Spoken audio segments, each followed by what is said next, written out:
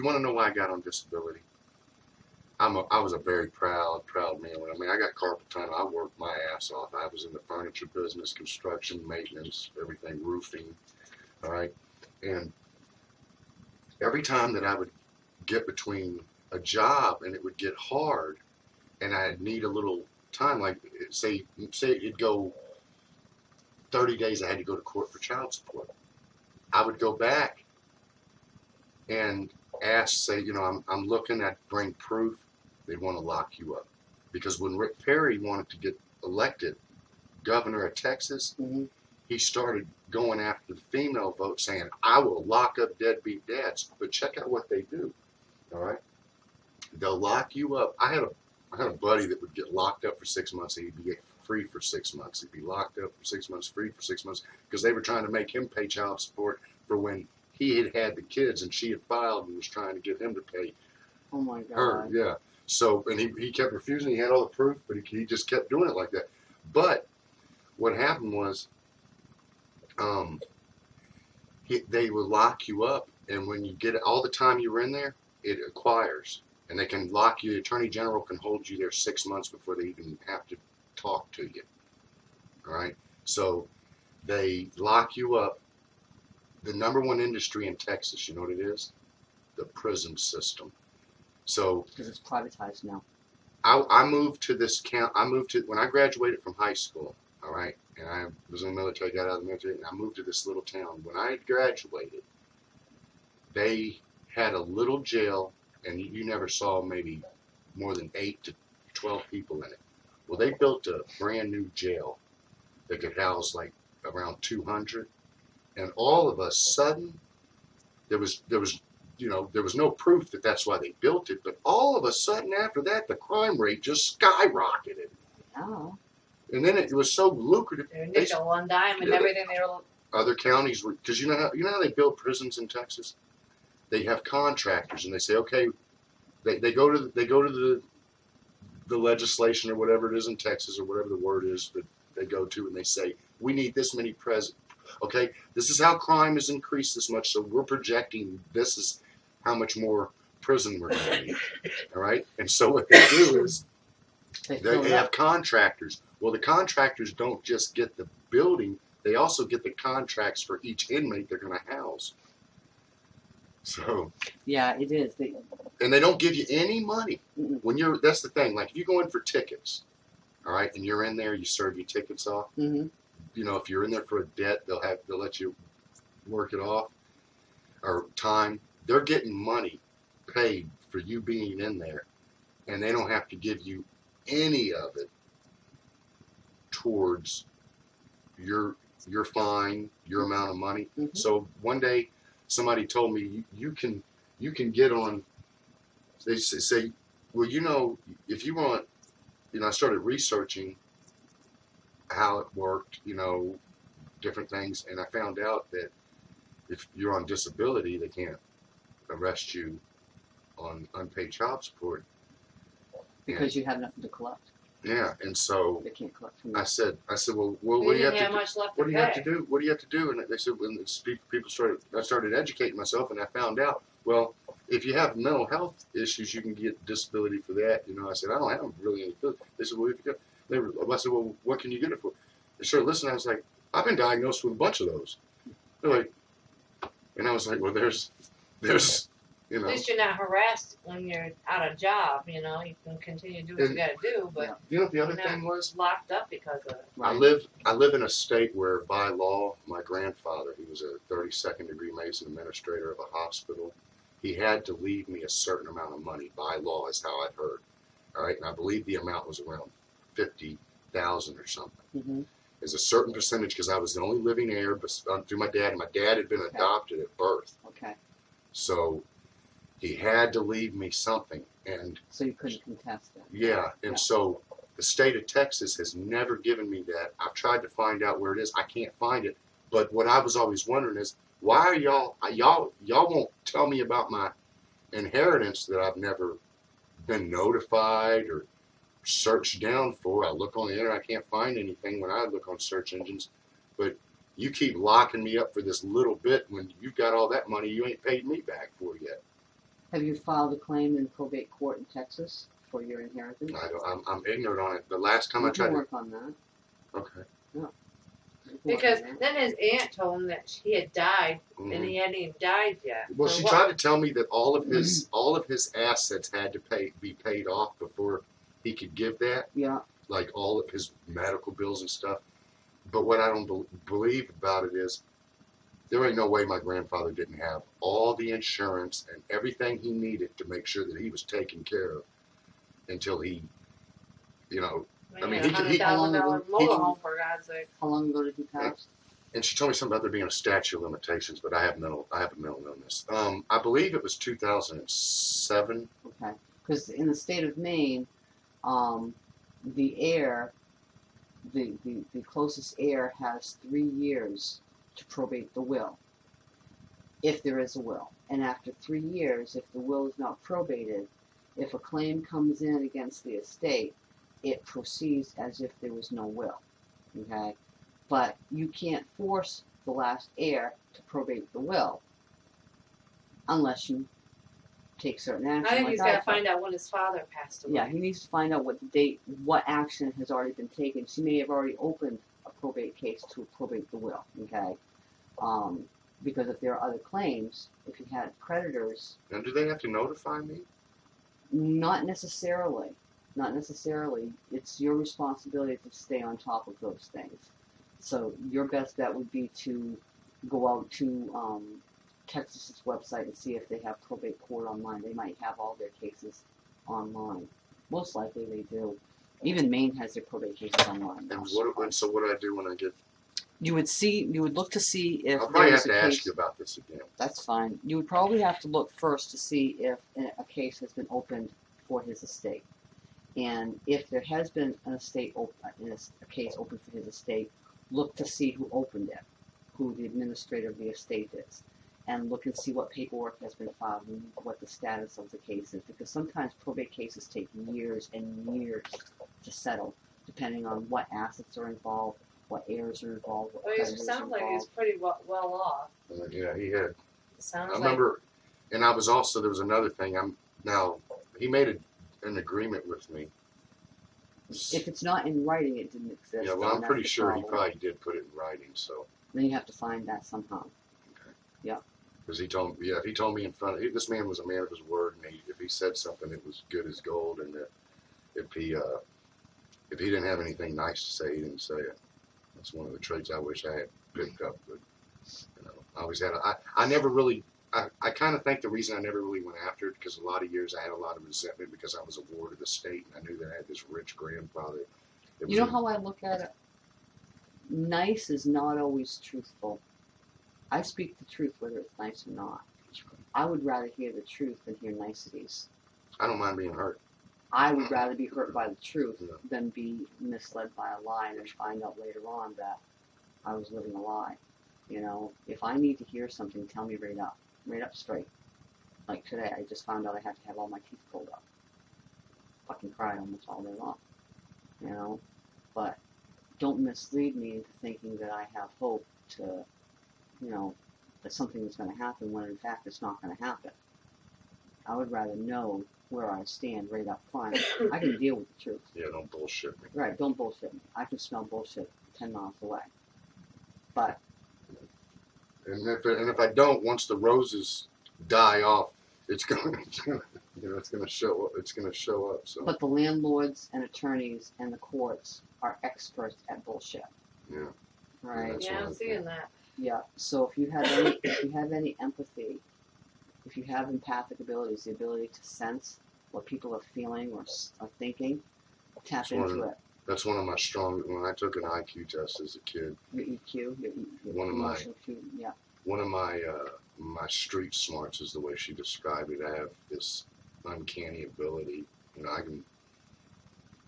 You know, I just I have an ability to kind of read people, I guess, and kind of get their vibe and who they are. And you're going to need to use that with your court issues. Okay? Especially, you especially want to play devil's advocate as much as you can with yourself. Look at look at every scenario from both sides of the coin, and use use every possible counter defense that the landlord might bring up so that you can counteract that before he brings it up or at least be prepared You to remember, That's what You the remember what motions you is said? doing, correct?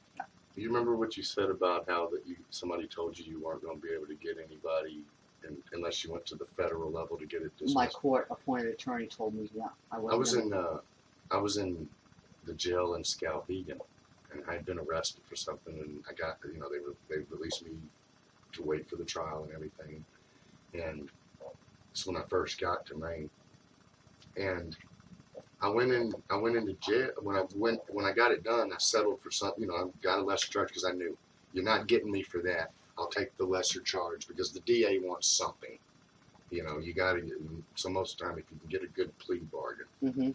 So I went in, I decided to do 30 days over the thing.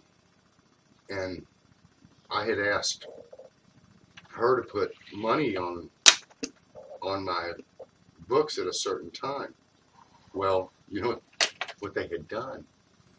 This now I don't even know I don't know if I could go back and ever do anything about this because it's almost been three years now, so I don't know if it's up. But they sent me a receipt saying, only claiming that it's, and I told her, take take it off the card, put a hundred on, on me. I get a receipt for ninety. They didn't even tell me that they took ten dollars. Who was this again the jail The jail. they took ten dollars for what I've started requesting, right? I had to I had to write. I beat them.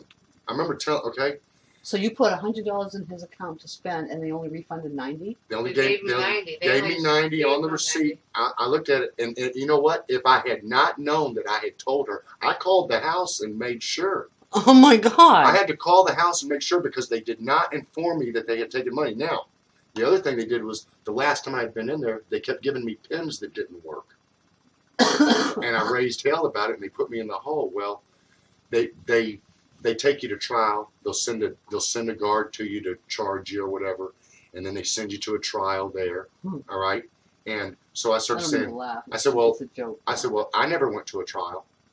They said, oh, well, and I said, well, how does that work? And I began to ask questions, and I, I knew they had to give me answers. And I even requested to talk to one of the sergeants about it. Well, he had to send me, and so what I did is I wrote a request, and I said, okay, well, if he has to send me a call to hearing, then and it and it and y'all state that it ha- that he has that he brings it to me and that it gets signed Mhm. and that you, if I get released after that, you can have a hearing without me present. Because I told him that ain't no due process. In jail, you're gonna do. I said you're gonna wait till I get out, and then you're gonna have a hearing, charge, was awarded against me for ten dollars, and then and then take it and take it off my money without even telling me and not giving me any paperwork. So I said, you know what I told him? I said,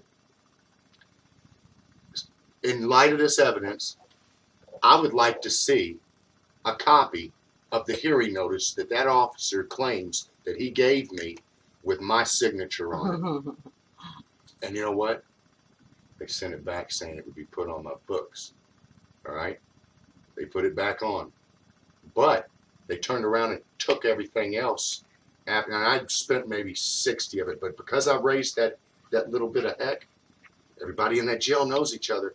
The, the officer that I had been going to for like before the trial PR or whatever it was, Mhm. um, sh- what she did was she sent they took it and when i when i asked about that i got a, a letter from her saying that it was because i wouldn't i hadn't paid my fines i told her well i wasn't even aware of them she said oh it was in here so i wrote her a letter and apologized to her, to, to her and asked her if there was any remaining balance she said that it was this much and i told her well if it's allowed if you if it's okay with you and you're if you allow it i will be willing to pay you on this date and when i got out like two, three days after I got out of jail, I went over there and paid her the the whole amount. Wrote her a letter. Everybody got to see. Oh well, look. When he's wrong, he admits he's wrong, and when he's and when he's right, because when I when I tried to get some information from like some stuff from the deputy, Didn't the cop tell you that you weren't going he to get told that? me he said just fill it out, Lee. They're just going to deny it, and he had one of the hats on that they wear in. And I said, really? I said, how sure are you? I said, will you eat your hat? Will you eat that hat? if they give it back. And he said, no, I'm not going to say that. I said, yeah, I bet you won't. I bet you won't. Yeah. So, Wow. well, you got to, You um one of the things that I would suggest that you do is start thinking about filing a complaint with the police department against the officers. Yes. We were An talking about official complaint against the see, and this is the stuff I needed. You know how, you know how valuable a, re, a, a, a, resource you are for what you're doing? Because I don't, I'm ignorant to it. And trying to find it out on the internet, it's like they lead you down this path to nothing. There's another thing nothing say- in. Another thing I would suggest is um, going out and looking at the Fair Housing Act, looking at the elements of the Fair Housing Act, and thinking about the time that you spent in the trailer, and if anything that the landlord did violated the Fair Housing Act. That's a federal. we didn't put our, our Oh, from the very first Okay. from the very first thing, he never put our security deposit in the right place. read the fair housing read the fair housing act okay and be very very rigid about your compliance with it i just went through a mess with three landlords and i lost each one it's a joke but you can make his life hell for several months by filing a complaint but you need to make sure that you have at least some merit to file a complaint so that when it gets dismissed, okay, nine times out of ten it's going to get dismissed simply because of who he is. You're talking about That's the what- officer. no, you're talking about The landlord. landlord, we're talking about the landlord, okay. The officer is actually might even be might even be guilty of fair housing violations for assisting the landlord in illegally evicting you by force, okay? Because those are local officers using the criminal law to get you out of an apartment that he had no right to get you out of because he breached because he was in contempt of judgment. Okay, and these are the facts that you need to write down. Okay, so if you want to write this down in your notebook, these six, these one, two, three. Facts, evidence, law, procedure, liability, damages. What I would suggest that you do is start a list, write down the facts, and when you're first writing them down, just try to write down as many as you can that you can think of. And then after you get a pretty good list, try to put it in a timeline. This happened first, then this happened, then this happened, then this happened. Because if you don't have the facts in the record, it didn't happen. When when when Michael wrote him the letter, you know, and the the wife sent him back over, Yeah. he come over with, well, I could, I will do this and this, and I am not doing this, and I'm not doing that. And Michael told him, oh, do you know code? No, I don't. No, I told him. I said, I said.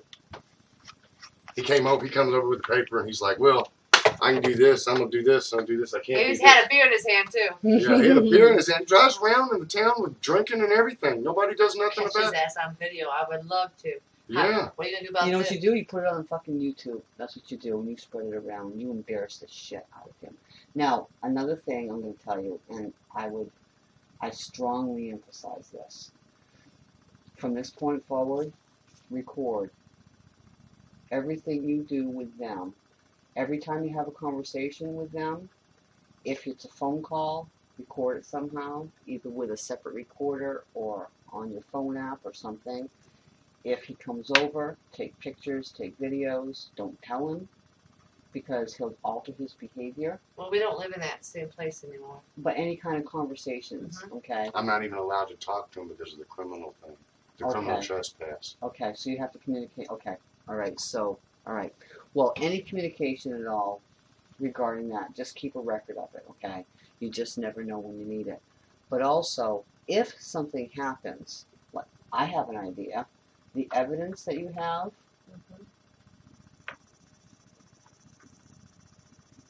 I don't know if I would do it right now, but at some point, I would probably upload those videos to YouTube.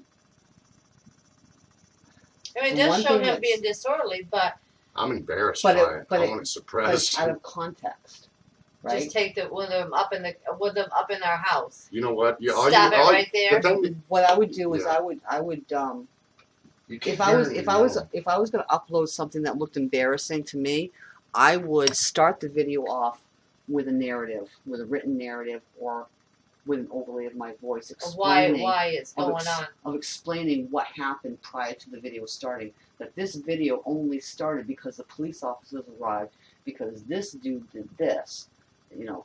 So that's what I would do. Explain it. But the Expose publicity, the publicity will be your protection.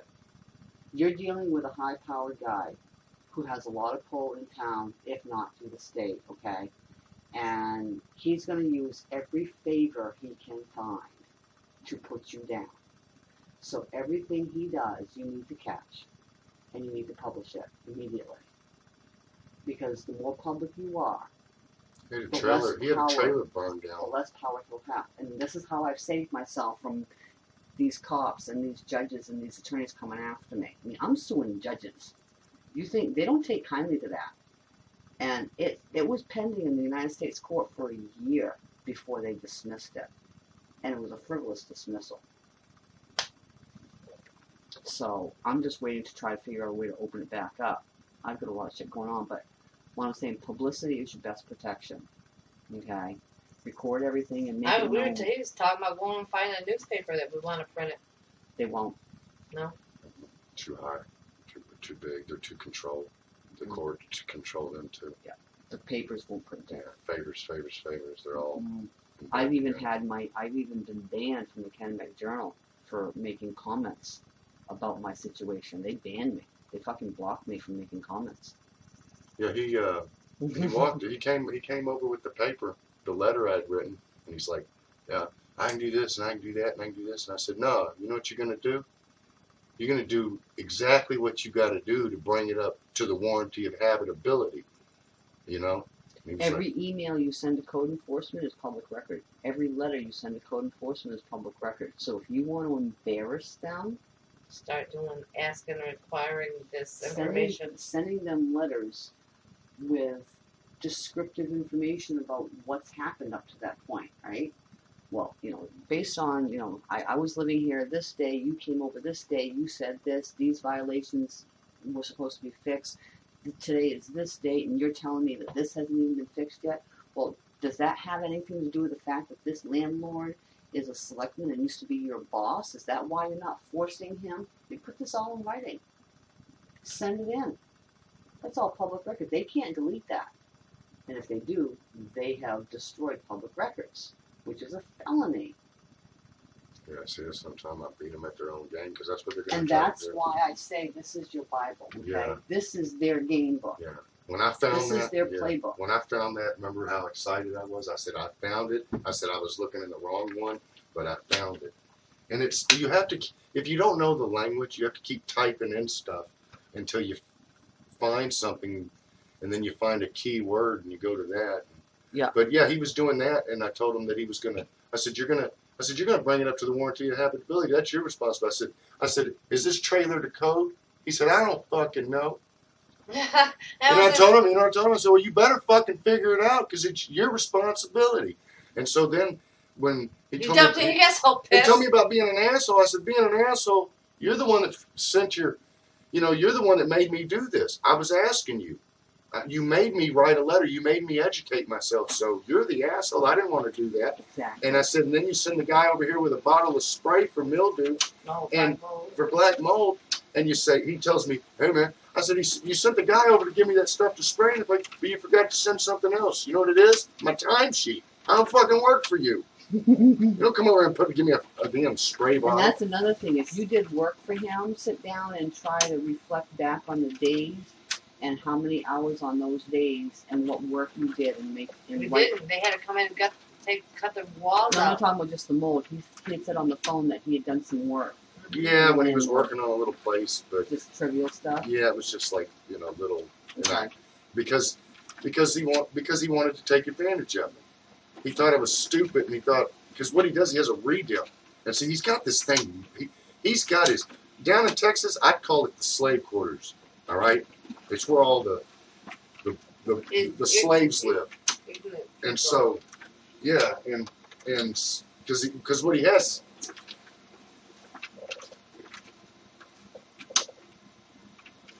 Thank you for sharing. Let me bring something. But he, uh, what was I saying? The slave quarters. Oh, what he what it is is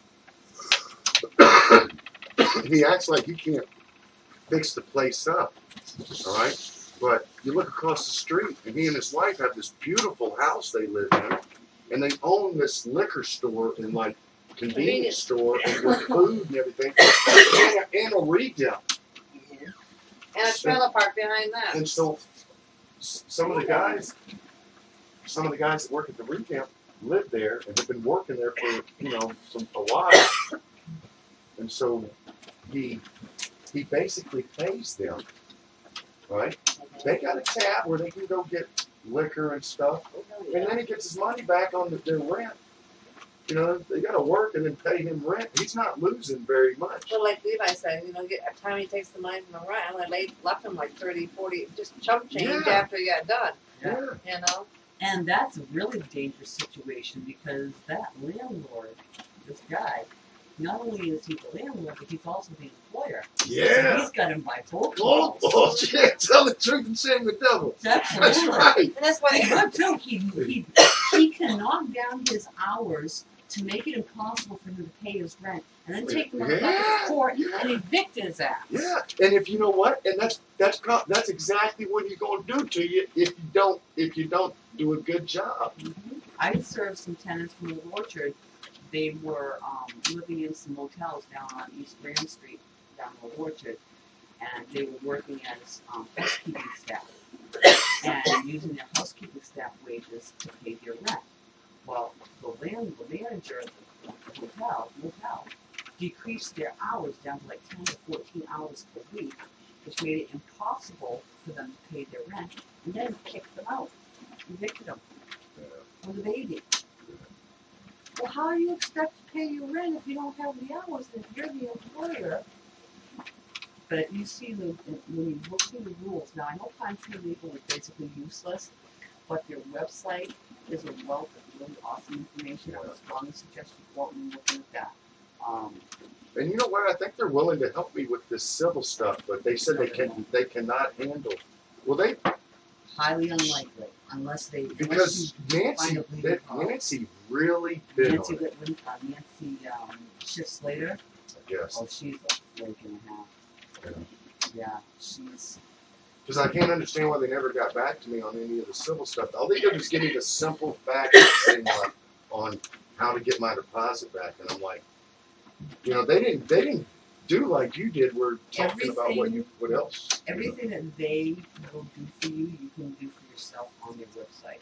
All they will do is say, fill out this form, fill out this form, fill out this form. Um, they have no time or interest in sitting on you, Who what kind of cases do they take? Where do they get their funding? donations, federal grants, agency funds, stuff like that. Explains all that? Yeah, and They're housing, chasing the dollars. and and housing that. is the least of their priorities. Yeah. Housing is the least of their priorities. And they don't take criminal. No, Yeah, we already know won't, that. They, they helped me a bit on some of the civil, but like, I- like, like I, like I told her after dealing with that attorney, yeah, I put him on blast in that courtroom. When he finally came to talk to me, I said, well, look who it is to, to her, you know? Chris Berman. and he he he, ca- he actually came up and wanted to talk to me and acted like he he didn't he wasn't Pretended like nothing was wrong. like Could he go in the room like with the consultation, get free, you yeah know. well he talk. didn't want to he didn't want to discuss that he said now if you want to discuss this I said well this That's- is because of that Exactly. in Exactly. case you handle it he said well I'm not going to talk you know what I told him I said he said now do you want to talk to me about this I said do you have any do you have any questions for me I said yeah I got a question for you why didn't you return my calls Chris I s- That's you know, against the law. I said, why really. didn't, I said, why didn't you return my calls? I said, and so when he, he's like, do you want to talk to me this? I, I said, you know what? Your pop is bastard. You know? I said, I said, you got some? No, I Pop don't. his ass. Pop an ass, pop his ass bastard. I said, you know, like you know something much. And I, I told him, and as I was going out the door, I said, no, I don't. As we were walking out the door, To I said it where I courtroom, to the wasn't loud enough that I disturbed all the way up to the bench. All right, but the people could hear me in the room, and I went, no, I don't want to talk to you because you, you're, you're unprofessional. You when I had when I hired you, you never. I said when I hired you on the on the, you never could return my calls, and here you are, you know. And so and they were like, you know, that's all I said. And right about that time, right as I had ended it, they were like, I just kept it down. But I wanted everybody in there to know that this guy, don't trust him. I I would love to go out front. See, that's why I'd like to ask you how, how you're doing it and how to keep my ass safe because I'm the type like we were sitting in a we were sitting in the court talking when we when he, when John and I were, were mediating. Mhm. We were sitting out in the lobby, right? You want to talk about some blatant shit? All right, these landlords were in there, this white and black lady, and there was this black guy, about probably half white, half black. Mhm. But you could tell he was he was educating himself too. And she said, she made a comment. Well, you can't help it. It's it's it's in your nature. The black guy. And you know what? I, I regret to this day. I regret to this day that I did not tell that man. You know what? I heard that. I heard it, and I will s- I will swear to it. And you know what? He probably got railroaded too. There's where that recorder would have come in handy that day. And when I think about men, the black community in Houston was very good to me. They showed me a lot of love. I've had to hunt in the underground because that's a big thing down in Maine the is very racist. All right, yeah. Well, I get that, but they they were very good to me. And down there, seeing what they did, seeing black men when you hear he wasn't guilty, they put him on death row with falsified DNA records, and you're going, this they they they took this man from his family. They put him out. So I just I can't stand injustice, but you're right. It doesn't seem like anybody ever gives a shit. Up here in Maine, our population actually it's, it's going more diverse, but it's 99.5% white. State of Maine population, 1.3 million people, mind you. Okay, You we have more pine trees. We have probably 100 times more pine trees than we have people. remember when I told you black guy That's told me in good jail? Yeah, Remember when I right, told I you, know, remember when I told you the black guy told me in jail? Because you know I clicked with the bro- I clicked with the brothers fine in there because you know I'm, I'm singing songs that they know and you know and old school songs, not that new rap crap, you know. So juke joint black songs, you know. And but he told me he said you see he says you see a black man in jail in Maine, he'll tell you what he's in there for, drugs. just like LePage said. But LePage is full of shit because the only see it, it, it, it, it it's so full of shit. White people are more likely to do drugs. Statistics prove it. The research proves it. You got white collar cokeheads all over the fucking place. You got fucking alcoholic legislators driving drunk all the fucking time.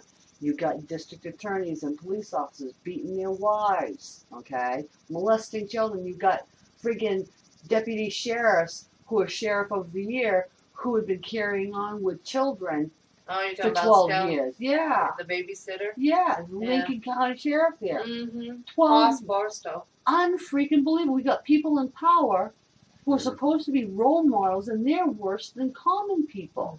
You know, and then we've got the the, the, the, the jails are overflowing with people like you and me, and and and and innocent people who who've done nothing wrong, just to keep the fucking cells full. Yeah, common mean- sense don't matter anymore. It's oh like fuck no! it's like you know the it don't matter. Constitution, like they said, it's just a piece of paper. It don't matter no Well, more. Well, like when you they said, "Oh, the, the state's not seeking jail time," I'm like, "Well, shit, they've already got some. They already put me in jail. What do you mean they're not seeking? some- Oh, but that doesn't get me an attorney." Well, I'm claiming that the state of Maine enslaved me to the court system in violation of the 13th Amendment for a year by holding me under deferred disposition for no reason at all, just because they could. Just because I was disabled and I reported my disability as motor vehicle. That was the whole basis of my suspension was because I reported my disability as motor vehicle and they used it against me to suspend my license. For no reason. Because you hadn't had a court doc. A doctor never told them that you had. I was no risk. I was minimal to no risk, and they knew it. And the only reason they suspended the license was because I did not re- I did not respond to their review for medical records. Because I was homeless and didn't get their mail. So they mm-hmm. yanked my license, even though, you know what violation free credits are, right? In the state of Maine, every year you go, every, for every twelve months that you go without any traffic tickets or any accidents, they subtract one point from your, from your driving record, which are demerit points, and you're allowed to go as low as negative three, because like every speeding ticket you get is a demerit, okay, it's like six demerit points for like, like thirty over or something like that, speeding. Every violation you get, there's demerit points attached to it, and the more demerit points you have on your driving record, the higher your insurance is gonna be, and the more susceptible you are to criminal charges or license suspension for accumulation of merits. Well, anyway, they suspended my license, even though I had had two years immediately prior, 2008 and 2009, with no traffic violations, no accidents. But then they said I was incompetent to operate a motor vehicle because I didn't send in a review for my medical disability. So they fucking yanked my license, even though I was a safe driver. Well, the doctor be- didn't simply deem you to be at a risk to, to to save them work. Just simply because I didn't fill out a piece of paper. As soon as I filled out that piece of paper, they restored the license. No reinstatement fees, no penalties, no nothing. Restored the license free of charge. But the cops still had the OAS against me operating after suspension criminal charge that I had to fight, and I've been fighting it ever since. That one turned into four more. So I've had a total of five in the last five years. On top of refusing to submit to arrest, failing to stop for an officer, illegal attachment of plates, violating conditions of release. And all seven of them I got dismissed because I refused to give up. The evidence is just as important as the facts, okay? If you cite if you cite facts that you cannot support with evidence, the facts are meaningless. Alright, so if you have like the videos, um, and if you know that there are more videos pending or there are if you know there's more evidence that they have not given you, don't give up. Don't don't just say, "Well, I guess they're not going to give it to me." That was how I was able to How do we my. how do we find out if they've got more than what we? They said there was at least three cops there there, and he told I heard him say all of them had cameras. That They all were well, I've on. heard they all the that the way their policy is when they get there, it turns on. There's like a 30 second delay in the voice, but the video, the the, the talking, um, like the visuals on. Mhm, So they can see, but you don't hear it for a little bit, and then it begins to play. And out of there were probably four, three, at least three officers, but I'm thinking like probably four, and they didn't submit any of their Oh, there's only two videos. and and like I said, the nine one one call, it sounds like They manipulated it. it sounds like she says Stops. she says yeah he, he says yeah I just saw da, da, da, da. and he's like all right I got the officer on the line he, he says I got the officer somebody on the line or something he, nine one one on the line uh um hang on and then you never hear him talking to nine one one or whatever you don't hear nothing. It goes. It, it's quiet. and it's not you don't hear a click you don't hear eh. Does the con does the dialogue continue? Does it reach? So it just ends at that point. Mm-hmm. He calls up, and you know what? I think I, what I'm guessing, because like you said, you have to think, guess, like, well, what are they doing it for if they're doing it? And then remember, you okay. Always keep in the back of your mind. This is a selectman. This yeah, we've is been their telling. former boss, or their current boss who's just not currently in power. Okay, they may not be sitting on the seat. Doesn't mean they relinquish their power. They may have just decided to go on to bigger and better private. I think it was the reason why he stepped down was a, con- a, a, a conflict with trying to get a liquor license or something. No, something. he's opening a restaurant Yeah, in something. downtown. conflict of interest. hmm He wanted zoning changes, so Yeah. he couldn't be on the board. Something like that. Exactly. So my that's exactly my point, okay? He has power in town. He stepped down for his own personal benefit because he had a private venture that was going to pay him more than being a selectman, and he knew he could not pass legal muster as a select person while seeking zoning changes for a liquor license-based restaurant or establishment, okay, because he has to get licensing. So there's a huge conflict of interest, and he knew, at least he was wise enough to know, but he still has his power. He didn't get rid of his power. He Yeah, actually got more power because now he's no longer a public official. He's now a private citizen like you and me. So he doesn't. He no longer has he's got a public lawyer. That, servant status. he's okay? got a lawyer that I heard was like they're the, that family up here Paul are like they are like Paul Mills. they're like the Kennedys. He's part of the Nancy Mills family. Mm-hmm. Yeah. he- Well, I don't know what Paul why. Mills is going to say about this, or what how he was going to handle this, or he Like might you not just want said, nothing to do with it. She it. just told us that. Remember, Judge she said Mills, Judge Nancy Mills, Attorney General Because- Janet Mills. That's Be- the Mills family. yeah, We're talking AG, Attorney General. Okay. Yeah, but it, I don't know if you'd want to represent John Bouvier because in that it, out in that four year, when that little clause was put in there about surrendering it, a thousand dollars. Paul Mills stickler. looked to John John yeah. Bouvier. He looked over and asked him if that was going to be a problem, and then he, John, our landlord, said no. So in return, the the the Where is that? the um, his lawyer, Paul Mills, turned to our lawyer and said no, See it wouldn't be a problem to pay that. They all agreed, and then I think somehow Paul Mills was brought to his attention that this didn't happen, what had happened. hmm So I don't know.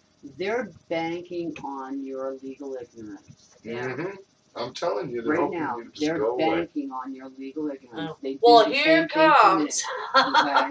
Yeah. Here comes. you know how the lawyers always say that? Here, my Here the judge comes. says it, but here, here come by. Here comes. You know, well, You know here what I told my comes. son? You know what I told my son about bullies and stuff like that when he was a young man?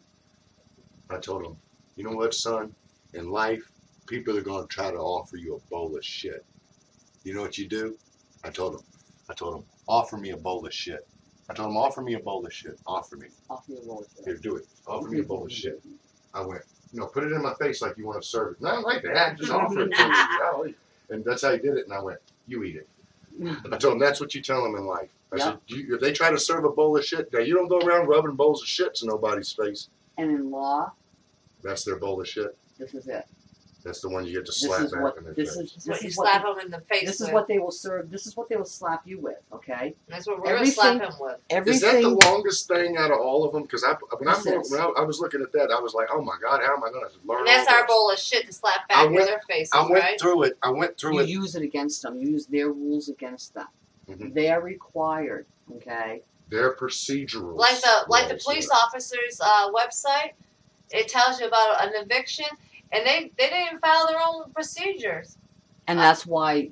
That's why I'm suggesting to make that. a photocopy of that too. Yeah, and also if the if the um if the police violated their own procedure, Yeah, they did. then your complaint, or if I was to do it, my complaint would be based on their blatantly violating their own internal policies. Can Can I show you? we- You want to look that up? Mhm. It's on uh, Um, Farmington, city of or town of Farmington or whatever their website. So if you just type in town of Farmington, it'll pop up. I, I have to show you this. You, this and this because this would be evidence, I believe. Their police policy. Uh huh. we were talking And about it's right- copying or bringing it up and And, printing it. and and see, I'd have to have it sitting in the folder right next to the law that states, and then I got to have it sitting right next to another law that states that that Let me, landlords sh- can't ask. let me show you one of my books or one of my cases, okay? To give you an idea of how I prepare myself. Well, we, I really appreciate this. You I know actually it's might be pretty impressed with it. I actually, You're gonna you're gonna be highly blessed for this, believe me. I already am. Good, actually. good. I This hope it's is, been worth it. this is, this is the eviction from two thousand fourteen, when the court helped my landlord evict me from a property that the court bought and tore down to build their parking lot for the new courthouse in Augusta. I was the only tenant living in that apartment building on the corner that they took to their parking lot. And so they joined with my landlord to kick me out of their property, the building, so they could tear it down. That's They the case. paid, they paid, Wrongfully hey, evicted. hey, they paid They Paradise. had been, they had, they had targeted that property since two thousand nine. Never told the public. City of Augusta shut the property down in two thousand thirteen for code violations, it was down for a year. They opened it back up in January two thousand fourteen, allowed me to move into it after I asked code specifically, is this property safe and habitable? Yup, yup, yup. They never told me that the city of Augusta was joining forces with code, with, uh, the, the, the courts and my landlord to sell the property to the court before they could tear down the build a parking lot. Never told me that, so I moved in in January two thousand fourteen. The city of Augusta made my landlord an offer in May, April of two thousand fourteen. My landlord had me write a letter on his behalf in his name to the city rejecting their purchase offer. And then my landlord serves me with an eviction notice in July. He had to do what? He relied on my legal knowledge and my skills, manipulated me and told me that he was not selling the property, that he was gonna fight him. And so I helped him write a letter to the city of Augusta, rejecting their purchase offer. So he got, he used your, your rejection to give himself more money and then turn around and sold it. And then he evicted me in July, What, what was he, what did he file the eviction for? thirty day no cause, No cause. no cause, I had no, I had You no. only, And then, so and not only you didn't that, even let me not finish, pay your me rent or nothing. You huh? finished, no, I paid my rent all the way up. No, I'm until saying July that you didn't miss it at all. I didn't Yeah, miss it, no. that's, that's, um, No, he had no, he had no reason to evict me. well, yeah, I mean, he had the right, I mean, He, but, the thirty hold day on, thing, but he then, hold on now, the court had already earmarked that property to be destroyed starting in two thousand nine, okay? So fast forward to two thousand fourteen, the courthouse is being built, they're just waiting to get me and the other three properties off that block. so they could- raze the whole block and tower it over to the parking lot. Well, I was the last holdout. Everybody else was gone. I was the last holdout. TV station even came out and interviewed me. Alright, and do you think I had any chance of hell in that eviction hearing? That was when I called the judge by the first name. I said, Valerie, we have a conflict of interest. You're taking that parking, you're taking my building for a parking lot for this court, and you know it. I don't know what you're talking about. Excuse me? What about that sign in your clerk's office right now that says new courthouse, January two thousand fifteen? That's my building. You're gonna be parking your car in my bedroom. But you're sitting up there as a judge over my eviction today?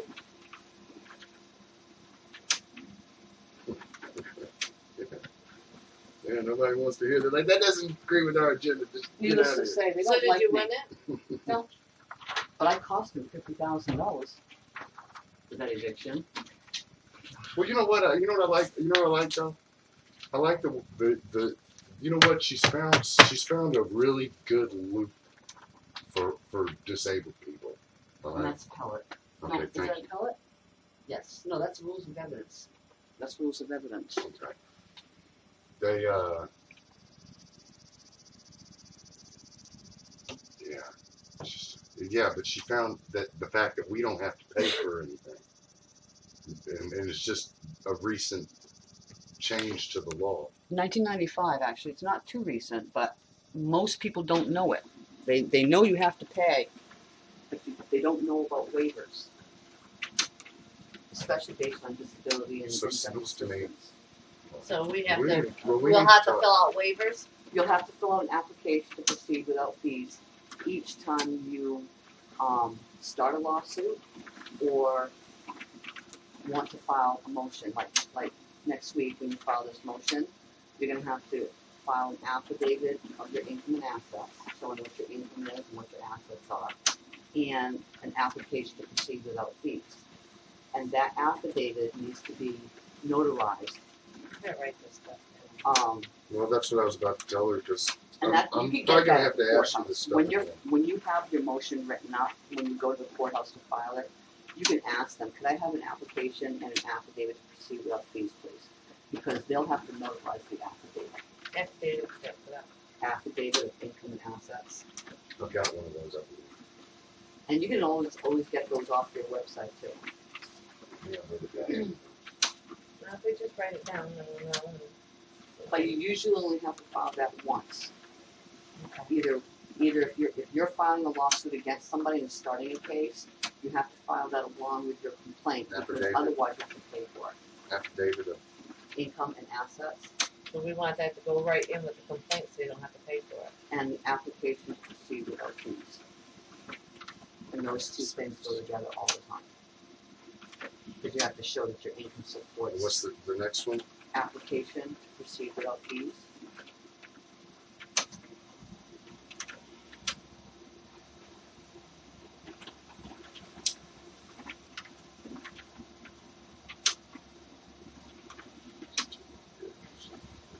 And that really pisses them off because that means you can go as far as Supreme Court of the United States without paying a penny for their legal fees. That's nice to know there. Yeah. Isn't that good? Really They, they may pisses them beat me out of a lawyer, but they won't.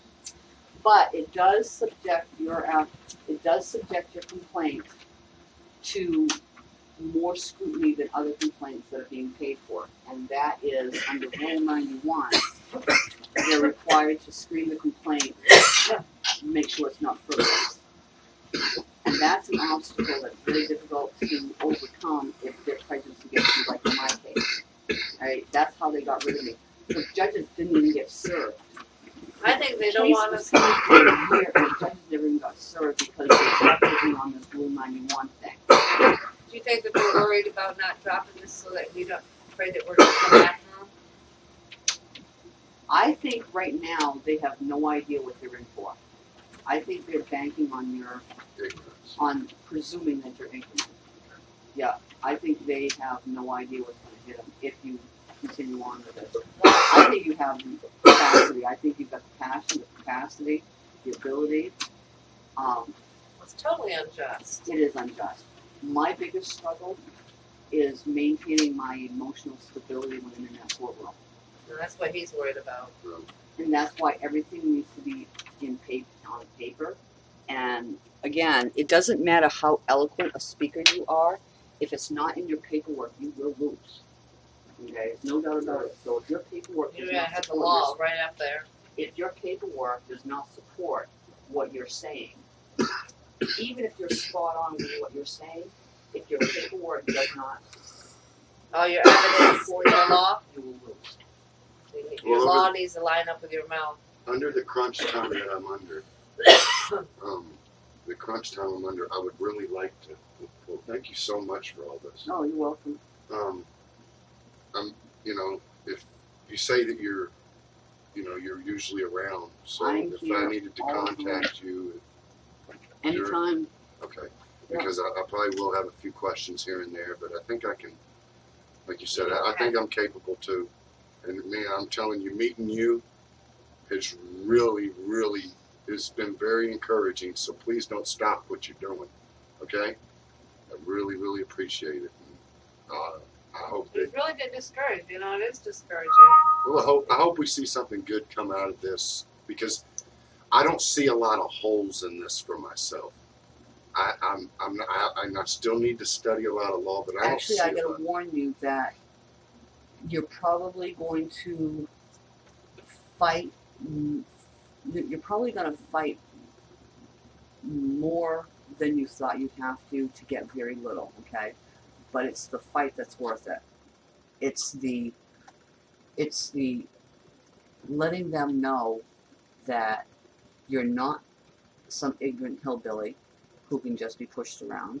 Um, that just because he's a selectman doesn't mean that he has these special privileges. These are rules, these are laws, this is an agreement, this is a court order. These things have value. If they have no value for me, they can't have value for everybody else. But if they have value for other people, they have to have value for me. Otherwise, there is no value. It has to be for everybody. Otherwise, it means nothing. If they can just change the rule on a whim to suit them, what's the purpose of the rule? Okay? And that means we really have to stop and scrutinize what's going on and who's controlling it. and somehow provoke passion out of people to, to stand up because we need more people like this to come together at least to go and testify at the state house to testify in municipal town meetings to to, to make it known that do a YouTube out there say, um, how many of you have been, um, how many of you have been tenants? I would love to have your permission to take this video. I think it's still recording. And I would be more than willing to edit it if you want to and put it on a Maine Tenants Justice League video um, YouTube channel and say this is an example of what kind of service you'll receive if you call Maine Tenants Justice League and this is how you'll feel when you leave. You'll have inspiration, you'll have encouragement, you have support. Um, we have to we have to be in together. Housing is at the core of life. If you don't have housing, your life falls apart at the seams. And if you don't have safe housing, landlords forget that they own the property, but common law says that that property, not in common law, statutory law says that that property must meet certain standards, codes, before the landlord can take any money for that property. And if he doesn't meet those standards, you have a cause of action against him. You have a right to access your court to get a remedy for your injury. It doesn't matter who he is. It doesn't matter if he's a selectman or, or, or, or a town garbage collector. Yeah, the mental anguish this has mm-hmm. caused. Yeah, one of yeah, really. The hardship. Yeah, This- the, he, he, yeah, I had a Native Amer- I have a Native American flute um, that was gifted to me by a healer in Memphis. And- yeah, He held on to that for 30 days. Almost just because he could. I went over to the hospital and told them, and they didn't have a psychiatric check-in, like that. They weren't set up for it. Let's go to Lewiston. Yeah, and but I went over there one night when we were living in our vehicle, and I went over to the hospital and told me told them that they needed to check me in right then and there because this man had my flute and wouldn't give it back, and that I was to the point where I felt like going and going into the Walmart section in the barbecue section and getting me some lighter fluid and going over and seeing this man, and I needed to be hospitalized because I was a threat. I was having very bad thoughts about him Gonna light You know. his ass on fire. you know, and Guess so what? by law, I think they had to call, and you know, with Because you the, threatened. ne- the yeah. ne- you know, the, But ne- listen to the me. next, I think he takes me serious to a point because he knows I'm not stupid. I've shown him that man, this this guy will educate himself, but he also knows that I didn't, I don't back down, and I ain't lost no fights over there. You know, another guy. You that- had three goons on you and you held your own, right?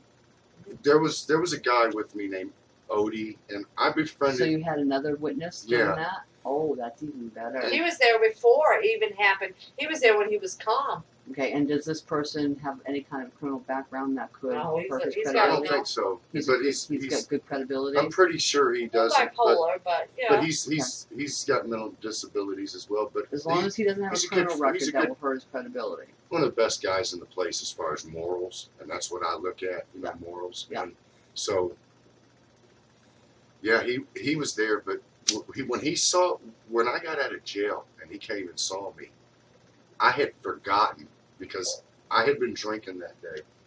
I had been drinking that day, and I'm not like totally just ripped or anything, or I probably wouldn't have been able to do what I did do, but but I had a little trouble remembering everything because it was so Yeah. traumatic to Yeah. me. And so, No. but when he saw me, he said, and the guy, this guy wasn't even in the video anymore. If that ashtray is um cool, we'll take it and just dump it right out. I haven't smoked in a while. Why is there- I smoked smoke up a lot when. I'm talking to. No, yeah, it's just, Well, and also when I'm stressed. But it, what it, uh, he um, what was this? How Oh, long do they have so you when in he- there? I got I bonded myself out, and then I told the judge that I wanted my bond back because it was so. I told him I paid it. The, yeah. the, cop, the cop actually told us this. Yeah, but real quick, when my friend saw me again, he said, and this was this guy was probably six two, six three that, that attacked me, and I believe the funny thing is, I believe he's like a mixed martial artist instructor Mm. there in town that everybody goes to to learn this stuff. And he got clowned by a mentally retarded guy from Texas that all he did was wrestle in high school. Well, see, he can't use his skills against you. That's he's he's he's registered with the police as a deadly weapon. Well, When good. anybody is a, when anybody attains black belt status, they have to register with the police department as a deadly weapon because they are now a deadly weapon. Well, when my They friend saw themselves. when my friend saw me, he said, I have family who's he black said belts. he said he said you the first thing he told me when he saw me again was you dropped that big guy hard Yeah. because when I picked him up I didn't just tuck him and throw him down I picked him up lifted his legs up higher up in the air and jumped up on him and He had no chance to respond. and but I had already gotten the what it, what happened. This is what happened when when when he went to get my mattress because I had left it in there as one last thing, and my flute and my phone, and I never got my phone back. Oh, really? And I don't because I don't have any proof. I didn't argue about it because I don't have any proof. I don't have the receipt anymore. Yeah. So he's, you know, I told him, you know, you, you know, I'm not doing this. You got to leave, man. This isn't, this wasn't the agreement. And, and in the video, one of the things you keep hearing me say when they did get there was I had a, I had a court order, but before they got there, they didn't see all this, and he, he's in there with the guys, and I'm trying to go in. I'm like, man, I'm, I'm going to go in here. And so he, he, I'm telling him, I still got property in there, man. So what time And was he- this? What time was this? Six o'clock. So it was right at the time, okay? Mhm. So he he um he's pushing the mattress towards me, and I'm pushing it back. And finally, I put it in his chest and pushed him real hard with it. And he got so mad, he threw it over me and started swinging at me. And I I'm on the washer like it was that I had out there, and I'm swinging like like swinging back, trying to line up on him, you know, pedaling back, pedaling from him. Mhm. And finally, when I get ready, I swing on him, and he and he, he stalls enough because I mean he was coming at me with everything. Big guy too, but he uh when when I got him to lean back, when I swung to get him off me and barely missed him, I just went ahead and grabbed him, slipped him up, and took him down, and I full mounted him and was holding him on the ground so he couldn't do anything Yelling, call the cops. call the cops, call the cops. And so the other guy, he had been kind of by him, sw- kind of sw- had taken a few swings at me. The one that's not, if, if this is who he is, So they never charged you with assault. They only charged you with criminal trespassing. yeah. And they never even investigated the 911 calls The about landlord. about the about there's a fight going on. They never even asked about the fight. Because they knew what was going on. And if and if they had they had gotten questions about that, it would have looked. It would have worked. It would have. They would have had to just. That you know what they did? They had an an, an eviction. Right, They wanted a self-help eviction right there in my yard. They had they held for they, a selectman. but they but also But, I mean, the the- cops no, come the- up and see all these guys there. the police officer he held an illegal hearing. He evicted me because he, he, he, he, made acted the without decision. jurisdiction. Yes. He what? He acted without jurisdiction. He And that's the argument I'm talking about. Motion for jurisdiction Well, because see, that's the problem is you have to you have to make clear whose jurisdiction you're referring to because when you refer to jurisdiction, you're usually talking about court jurisdiction. Co- cops almost always have jurisdiction, Except for the, this. except for in this case because this is a- sheriff's. right because this was provoked by an eviction, and the eviction was illegal because the landlord intentionally chose not to give you back the money that he agreed to give you back that was ordered in the judgment. So he, and they call it self-help tactics that he did, and that's illegal. and that is illegal, exactly. So you can, yeah, I've researched a lot of law on this. yeah, yeah. yeah. I've been So, reading that stuff up and down. I remember posting one time on my Facebook when I finally said something about it. I said, if they think they're gonna, I should have been be hot. if they think, if they think they're, if they think they're gonna do me like this, I said, I'm gonna, I'll read, I'll read the law, I'll read the ink off the pages. I'll read it and read it and read it and familiarize myself with it to where it'll just be a deadly weapon. Well, I didn't understand all my I knew I knew the procedures, like you were saying. I had a good idea that that was the most important thing mhm. because one of the things I learned in the criminal thing, in the criminal part of when I when I was when I graduated and I was on my own all by myself, and I went to jail and I started seeing how ignorant these guys were. And I started I going, well, hate doing dishes. I Yeah. wanted to know. I, want, Sometimes me too. I do them for everyone else. I wanted to know. Okay, well, if they're gonna arrest me for stuff, and then I don't understand it, I better understand it. Mm-hmm. I'm gonna be a victim. And so I, I got a hold of the Texas Penal Code and read the thing like three times Mm-hmm. and Educated. started yourself. learning things like laws about necessity. That if you assault somebody, you know, self defense is what everybody, but nobody hardly ever used necessity. And I went in and used it one time and How about walked the out that day. How about the castle doctrine? Yeah, that's because that's the one that I think will get it. My friend. I had a right to Hammers me on that one. The ca- castle doctrine. Absolutely, castle doctrine. because that's a big, big that's your supreme. castle. That's That right. your- I had a right, and I was According trying to to go that, back in. according to that judgment, the only way that you had to give up that property at six o'clock was if he delivered a thousand dollars to you. He did not. He so did not. even so, I lit technically. I i if he had given me that, and then I had tried to stay then you would have been truly guilty of criminal trespass because, he I didn't because then I wouldn't be following the agreement. correct. So But okay, he breached it because he intentionally slumped, got a check, got a receipt, an OUI, an IOU, drove to the property with this in his pocket, Pick, picked up a couple, gu- premeditated, picked out some Yes, guys, he some did. goons on the way, picked up some okay? goons. It's Yeah, all Okay. right. Went Premeditated. back You to the got that Okay. shit right. And he arrived with this plan in mind, Oh yeah. okay? So like he premeditated already, murder. he already intended to breach the judgment. He already intended to act in contempt because he knew he could. This is a How good do I case. find I'm out? sorry. Okay. Okay. How do I- nail him okay. There's a there's a there's a question of a witness though.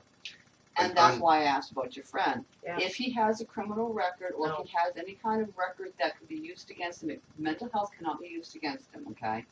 But if he has any kind of like, then I would suggest you keep him out of it. But if he's got a good background, then I would suggest that you ask him to sit down and write down a narrative of what he remembers happening in as He did succinct he did already, but he threw it away. He said he would do it again. He though. said he would do it again. He again. needs to do it again. He needs to have it notarized in an affidavit, okay? But he also needs to be available to testify about what he saw. The witness Because that the I affidavit Because is he's only for the important. record. He's very important because he shows his mental state before they all this took place.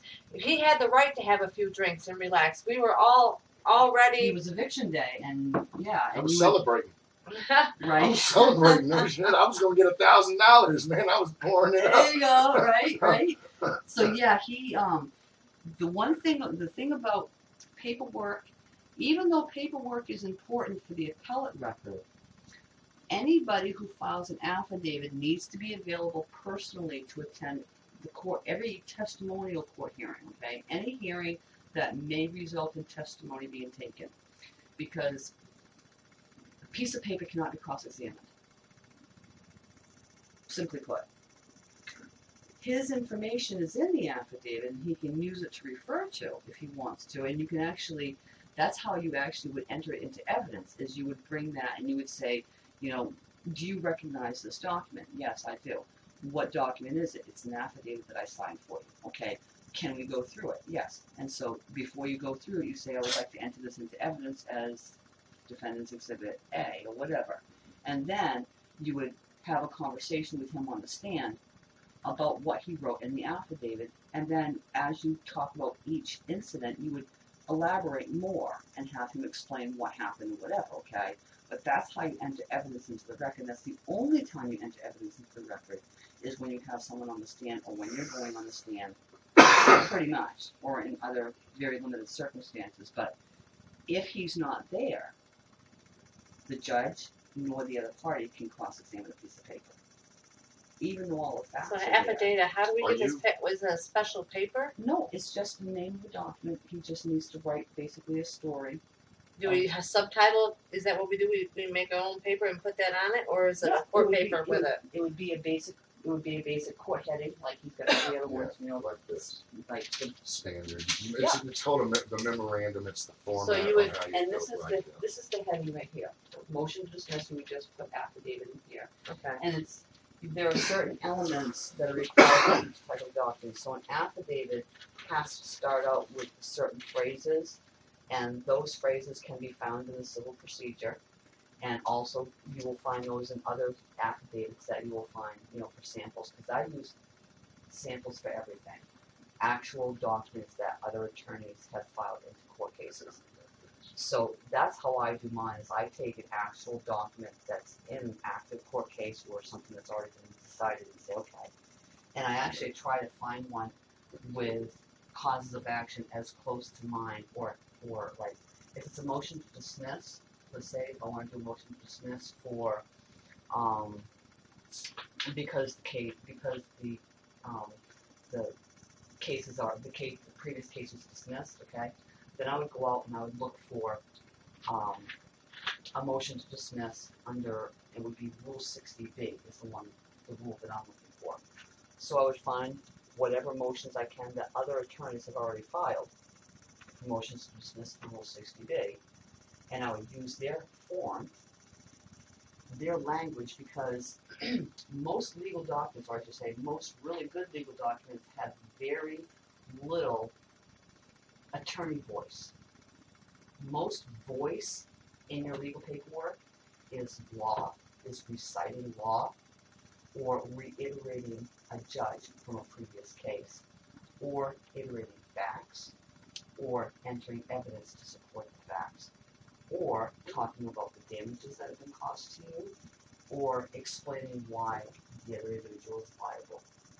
Okay, so there's your voice is limited to very limited circumstances. You best make it the best you can and quote No as much emotion. as you can. Okay? Unfortunately, there is no emotion recognized in court. Emotion has to be backed up with physical injury. If you're claiming mental distress, you have to back that up with physical injury. So, your anxiety caused you to be nauseous, caused insomnia, caused irritation, caused you to become angry, caused you to want to drink, which caused you to drink. Okay? These things, they have, your emotional has to be connected to physical because there's no tangible injury for emotional. Drove you to. Okay? So these kinds of things, you have to attach very up, yeah. and you have to be very clear that so and so did this, which caused me to feel this, which caused me to behave this way. Okay? You have to show the causal links. And timeline is always the best way to do that. Even if it's, even if it's bad, Always be honest and always bring out your mistakes first before they do. Okay? If you've made any kind of mistakes, if you have any kind of contributory responsibility, like like you said, you may have been drinking. Okay, yes, I had some alcohol. I had had been drinking a little bit of alcohol while I was moving, because I was told by Mr. Bouvier and the court that he was coming over with a thousand dollars, so we were celebrating. So yes, I had a little bit of alcohol in me. So when he arrived, I was a little bit less patient than I normally am. But that does not excuse him coming over without the thousand dollars, which caused me to react that way. Mm-hmm. It's his refusing to bring the thousand dollars, which was the precipitating Really? factor Yeah. that caused everything. I was moving out. I only had this, this, this, and this left, and I was waiting for him to come over to give me my money. He comes over. He only has mm-hmm. a hundred dollars. He has the audacity to bring these goons and an IOU for nine hundred dollars, So and then that's, decides he wants yeah. to slug at me, yeah. and then calls the cops on me, knowing it's a see, self-help that's well, addiction. the, the That's what's 911, the girl, it they were telling, oh, it's an eviction taking place, there's a Well- fight. Mm, yeah. So Yeah. you have to start off from the very beginning, though. That's You my have- Like I said, it's two- a second grade, Okay, start out from step one. Explain it all the way down through. You do because they're only referees. They only know what you tell them. That's what I tried to tell you the If you don't gotta- tell them, they don't know it. And if it's not in writing, it didn't happen. Well, Because for the appeals court, can only look at what's been put in writing already. When you physically testify, they're gonna have a transcriber, or they're gonna actually transcribe it into writing, so everything that happens in the courtroom, verbally or otherwise, gets put into writing. Okay, so it's best that you put it into writing, so that it's put in writing the way that you want it. Can can you submit your because okay when you submit your uh, your statement is that what you it basically is a statement of what happened? It would be an affidavit, but yeah, statement. Okay, so An affidavit is just a statement of truth okay, okay, that you swear to to. affirm I'm affirm yeah Yep, um, that you swear is the yeah. truth yeah. on the penalties of perjury. Yeah. Okay, so are you um, are you allowed to if I if I wanted to do that affidavit and I just wanted to do it in a video, is that That's not acceptable. it's not acceptable? But Not if I did a video and then to to to kind of look at it so that I could kind of You can use it for your own write it, purposes, yeah. So Yeah. I may do but that not for submission. Because it's a lot easier for me to say it orally. I even tried to get this thing to work on my computer where you speak and it does all The the Cortana, she's a she's a pain in the It's not butt. the Cortana, it's another one that's on the actual Windows 10 that you that Oh comes with God, it. Windows 10. I know I've heard horrible stories about it. And somebody my friend told me to be careful about my art that I do on it because they can get like if you do certain things with it they can have copyrights to it. Well, you know how you were saying, tell me the truth, read it straight? Windows 10 was created for the purpose of spying on you, and so wasn't Windows 8. So Windows 10 is just an enhanced version of Windows 8 with a whole bunch of backdoors. So what we need to do is clean it out and put another Windows in it. Windows 7. You need to go down to Windows 7. But the problem with Windows 7 is they stopped supporting Windows 7, except for Enterprise version. The Enterprise, the Enterprise version is only for corporations who buy volume licenses, because you know how software licensing works? You're not purchasing the software, you're purchasing the right, you're purchasing the renting, you're renting the software, okay? You can't change anything in the software, and you can only use it for as long as they allow you to use it, only on one computer, okay? So Yeah, you have to pay for it. um, Windows every 10, um, Windows 7, they stopped supporting, so they stopped putting upgrades for home users, okay? If you have a Windows 7 computer, when Microsoft won't up won't update your computer anymore, it puts this little nag in the, in your system tray and it tells you upgrade to Windows 10 and actually it's become so aggressive that people's Windows 7 computers when they wake up the next morning, it's upgraded to Windows 10 without their permission. When Microsoft goes in there and Mhm. Oh takes yeah, over, I hate that crap. okay, Yeah. this is Windows 7 Home Edition. The only time, the only Windows 7 version that doesn't do it is the Enterprise version, which is solely for corporations. And the reason they're continuing to support Windows 7 Enterprise is because it takes a long time to upgrade 50 to 50,000 or more computers Well, to a new operating system. My question is, is there a different company besides Windows? Yes, you would have to go to a completely different operating system. You've got Linux, you've got Unix, but What do you use? I'm still Windows. I use Windows Enterprise, 7 Enterprise. I won't go to 8 or 10. Windows 7 Enterprise is being supported until 2020. So we got three more years on 20 until Enterprise goes away. But I'm the best choice is open source software. What that means is it's free. It will never cost you a penny to buy it. Okay? You can use it on as many computers as you want to. You can even, if you if you learn how to do computer coding for some god awful reason, you could even go in and change the coding and create your own software from this piece of software that you just got. And the reason that open source software is better than microshit stuff, because you can go in and look at the code, if you understood what coding was, and see if there are any backdoors. See if there was any malicious coding in that program. And because it's open source and free, there are millions of people keeping their eye on the software. So when bugs may get put in there by some malicious hacker, somebody automatically sees it and pulls it out and releases a new version. If it ever happens So at this is probably how the government Okay. even figures out who's who. And Yeah. So Microsoft Windows 8 and 10 were created for the purpose of spying on you. uh, there are good hackers out there who've already created software for Windows 10 users that will go into your computer and will close all the back doors that they've put into the software. There are good hackers out there who are three steps ahead of our government, okay? So they already have plugs for these back doors. But people like you don't know about it because you have no reason to know about it. I do because it just fucking intrigues me and I've been in computers my entire life. So. Thank God. God sits high and looks low because he, he must think this is really ugly. He must think that. Oh my God. I God. don't think I don't think any.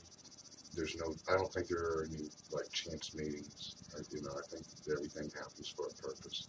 And regarding your struggle with these people, one of the things that I have to tell myself all the time when I get discouraged is God gives the, the toughest battles to his strongest angels. Right? Only his strongest angels are given the toughest battles to fight because only we are the ones that can take care of them. Um, God says He never gives you anyone more than your hand can handle, and I'm always telling God, "What you always give me so much." You uh, what do you think I'm strong? I'm telling you, I'm, you know. And that's why I'm using my legal experience and my legal knowledge and, and, and, and what I know to help people like you because there is so much injustice. I've experienced so much injustice in my life. I'm 48. I've never been married. I've been a single mom since I was 19. I've been taking care of myself since I was 16. Um, always taking care of myself. Always paid my own rent. Never taken subsidized housing. You know. Um, always been poor. Been on and off AFDC, that shit, you know got three years towards a bachelor's degree in mental health and human services. Um, you know, just the whole gamut, you know. But people need to know what their rights are. Need to know what the law is and how it affects their rights. And we aren't taught that anymore. And I only know it because I naturally love the law. I've always been that kind of person, and I needed to find a stable occupation that would help me raise my daughter by myself.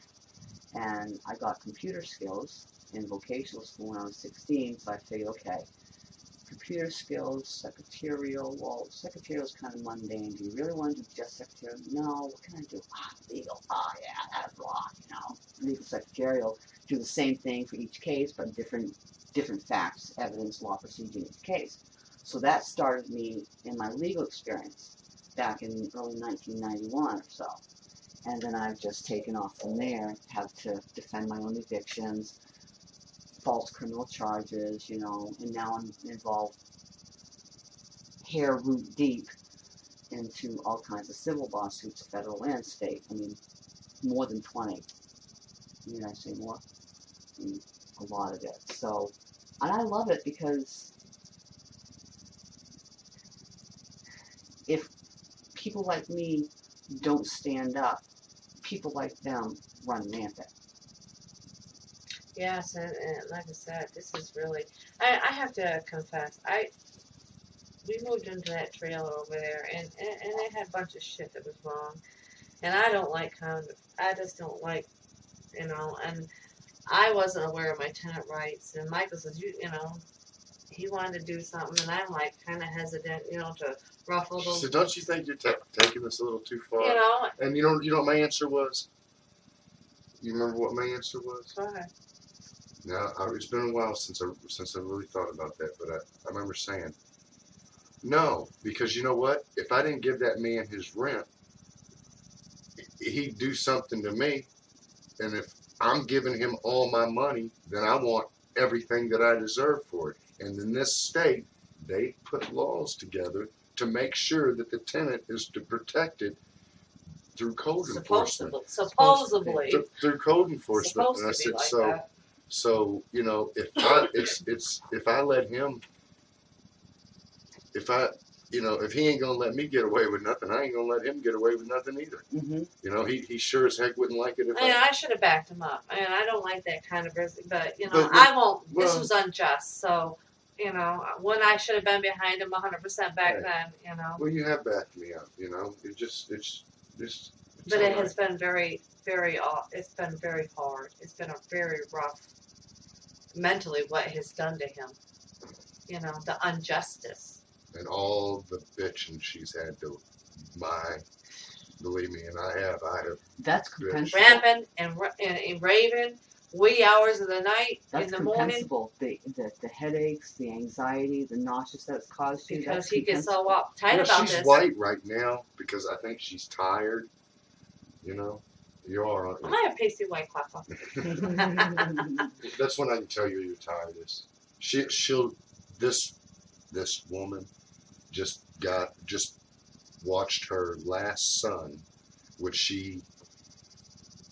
And we'll have to tell you how we met sometime. But we, she watched her last son graduate, what, last year, after spending 30 years of her life taking care of three children, and he he was adopted. Somebody asked her to to take him on, and so but she she is go go go. If she's got to be somewhere, she's got to work. She's there. She is. But I'm a little slack. I'm a pack rat, and through 30 years of kids, I have obtained a lot of shit that I need to go through. And you know, I've been in a slump, so I probably I, this spring's coming. It's just I'm ready. I, I've been complaining about it because I'm organized, but what what what I'm going through right now is I can't focus. Like you were saying, there's so many thoughts. I can't focus, and and I'm having to come to the grips with admitting that it's been the biggest cause in my delay of getting things done in my home, in my court case, has been the alcohol. And you know what? I don't lay down and die for nobody, and I don't love I don't love the shit that much. You know, I want I want it just I mentally, he, he he just was so. it's it's the embarrassment too. Mhm. I want to hand these guys their asses, and if and if I can't do it like this, because I would will, if I, I told her ten thousand dollars from John Bouvier would not be near as, it, it ain't gonna matter. I'd rather him sign a thing saying that he'd have an exhibition fight that the whole town could watch and we could sell tickets. You know, Mm. There won't be much left of them after that, though. In addition to doing the two papers that we were talking about, um, the motion for um, contempt and motion Stay. for stay, yeah, I would also um, look at. I'll look at in a minute. Um, the police department's policy Website, yeah, you gotta check that shit out. and print that out. print off the sections that relate to your situation and research their website or call them and find out what their procedure is. It file says it right official on there, though. complaint. I haven't looked at it yet. He- I'm pretty he tired. complains that he complains that uh, he complained, in, in the officer's complaint. There's like, you know, like he said, I had no right, legal right to be there, and so in my motion to dismiss, dismiss, I'm bringing up the fact that I had a a, a, a binding a lease. and that's You know what why. that cop said a to valid Michael? Well, it lease. looks like you moved out to me. Well, and that's 'Cause of That's the way it's sarcasm. that's yeah, that's outside of his jurisdiction. He had no right to enforce that writ of possession. Well, he was a looks like local officer. He was me. not a sheriff. The sheriff would have.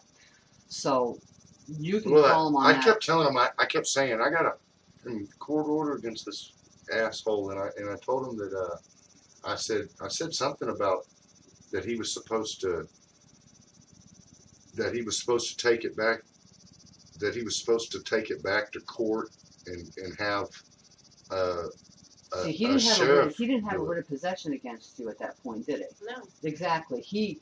Oh boy, no, that's what I'm Okay. saying. Not, not. you have okay. the police, This and is then what I'm three saying. But see, Okay. the other thing is, it's the way I. Now I don't know it for sure, but man, it, law seems like it reads pretty easy, if, especially if you got a good dictionary and a legal dictionary. But the thing is, when it says the the thing on on on top of the police misconduct for him, he's just he's guilty of um, not following his police department's policy because he's the he's the lead officer. That's why I would want to go after him. But the other officers that are all there that are aware of the police department's policy Yeah. are guilty of failure to assist. Yeah. And stop him from doing that. Yeah. The the the clincher for you is that there was no writ of possession issue. Okay. There was no writ of possession issued. That landlord had absolutely no right to do what he did, and those officers had absolutely no right to do what they did, okay? Well, see, that's the, that's the thing. This isn't considered the writ of possession. That is possession. not a writ of possession. It's just a judgment. That is just a judgment of eviction. That is not a writ of possession. A writ of Well, possession this- actually this- says Okay. writ of possession. It says a writ shall issue. Judgment shall, what's that say? What's the first line there? say? Judgment, judgment shall issue for the plaintiff with a writ of possession to issue on Wednesday, October So fifth. that he wouldn't have even He had couldn't it till even- then. For couldn't five even Get days. it until October fifth, okay? So then he, what? He, it was a blatant illegal eviction that the officers So he- assisted him Would he with. have, so could he have come, You yeah? have a civil suit. A You have a serious civil one. suit against the police department. Oh. You have three things. I if, if I was in your shoes, there'd be three things that I would be doing. I would sit down and write a motion for contempt, a motion for stay, and file a internal complaint against every officer who arrived on scene that day. Okay, in um, not the police department itself, because the police department had a clear policy that prohibited that behavior, which they violated. So we're going And I've also Okay, got and there up was to- no writ of possession, I- whether they, whether they had jurisdiction or not, there was no writ of possession. Well, I've also, well, well, I've also looked up, I've also done the research on, on the, um, so That's should, so so should I, messed up. so, so when I do that, do I need to list to them the, do I need to list that, the police misconduct, is that what I'm doing? Because, Yes. because that's what I feel like I have an argument for, is because he, he didn't follow his own police department's company Yes. I mean, department's policy, that, that, everything that I've researched, it says that that's, And that's where this comes in. I would start out with writing down the facts, okay? The, now, the key with these people is you'll get their attention with a shorter, stronger document. but Yeah. don't surrender length for comprehension. Okay, Mm. if it needs to be a long document because you have a lot of facts and you have a lot of evidence, So then be make it. make, then so be it. Okay, Yeah. my complaint against the judge was ninety. It's not frivolous. It's right. not frivolous crap. Exactly. But don't interject emotion and be very selective with any kind of extra information that is not directly relevant to what happens. Okay? yeah.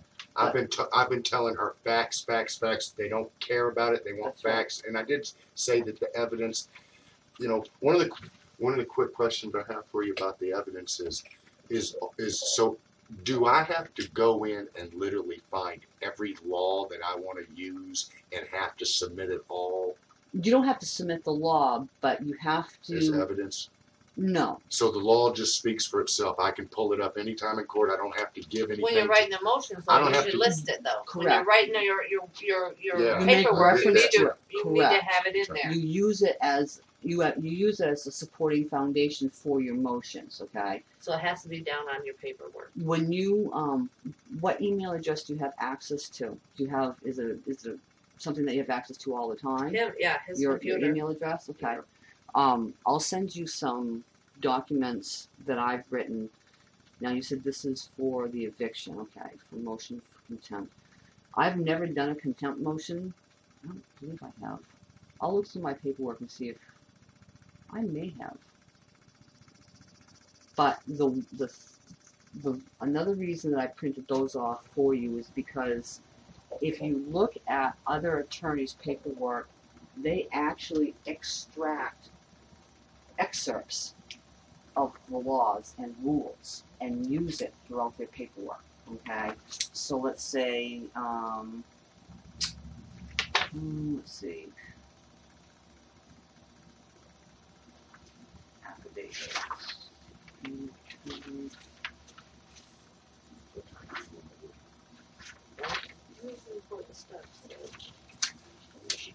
so. How's Friday? TGIF, baby. Well, Whenever you're ready, let me know. Okay? Well, whenever I, whenever you find a part of a rule that you think directly applies, pull it right out and, and, and put it right into your motion verbatim. So like, let's say Rule forty-five, service of a subpoena. a subpoena may be served by any person who is not a party and is not less than 18, 18 years of age. Okay? So if, if there was any reason, let's say, let's say I'm you gonna had step out and grab a cigarette. real Oh. quick. Is that all right? You don't have to smoke outside. Oh, you don't have no more? Oh, I gotta you're get some another absolutely- pack. Sorry. So like Do if you, do you have more in there? Yeah, but I cleaned a few up. I don't want them right now. So if, I don't if, think I locked it. if he had, if he had somebody subpoenaed and let's say for instance, the subpoena was challenged, the validity of the subpoena was challenged, you know, you would go to the rule and say, well, the rule says this, this, this, this, this, okay? This is the rule. The facts are that, that this, as evidenced by, Something like that motion, like this he's got written. This is how, I think he's tried to implement the facts into it. Oh, this is so big. This has been really ugly. wow, he even learned how to use the word moves, huh? I have to ask him about that. That's cool.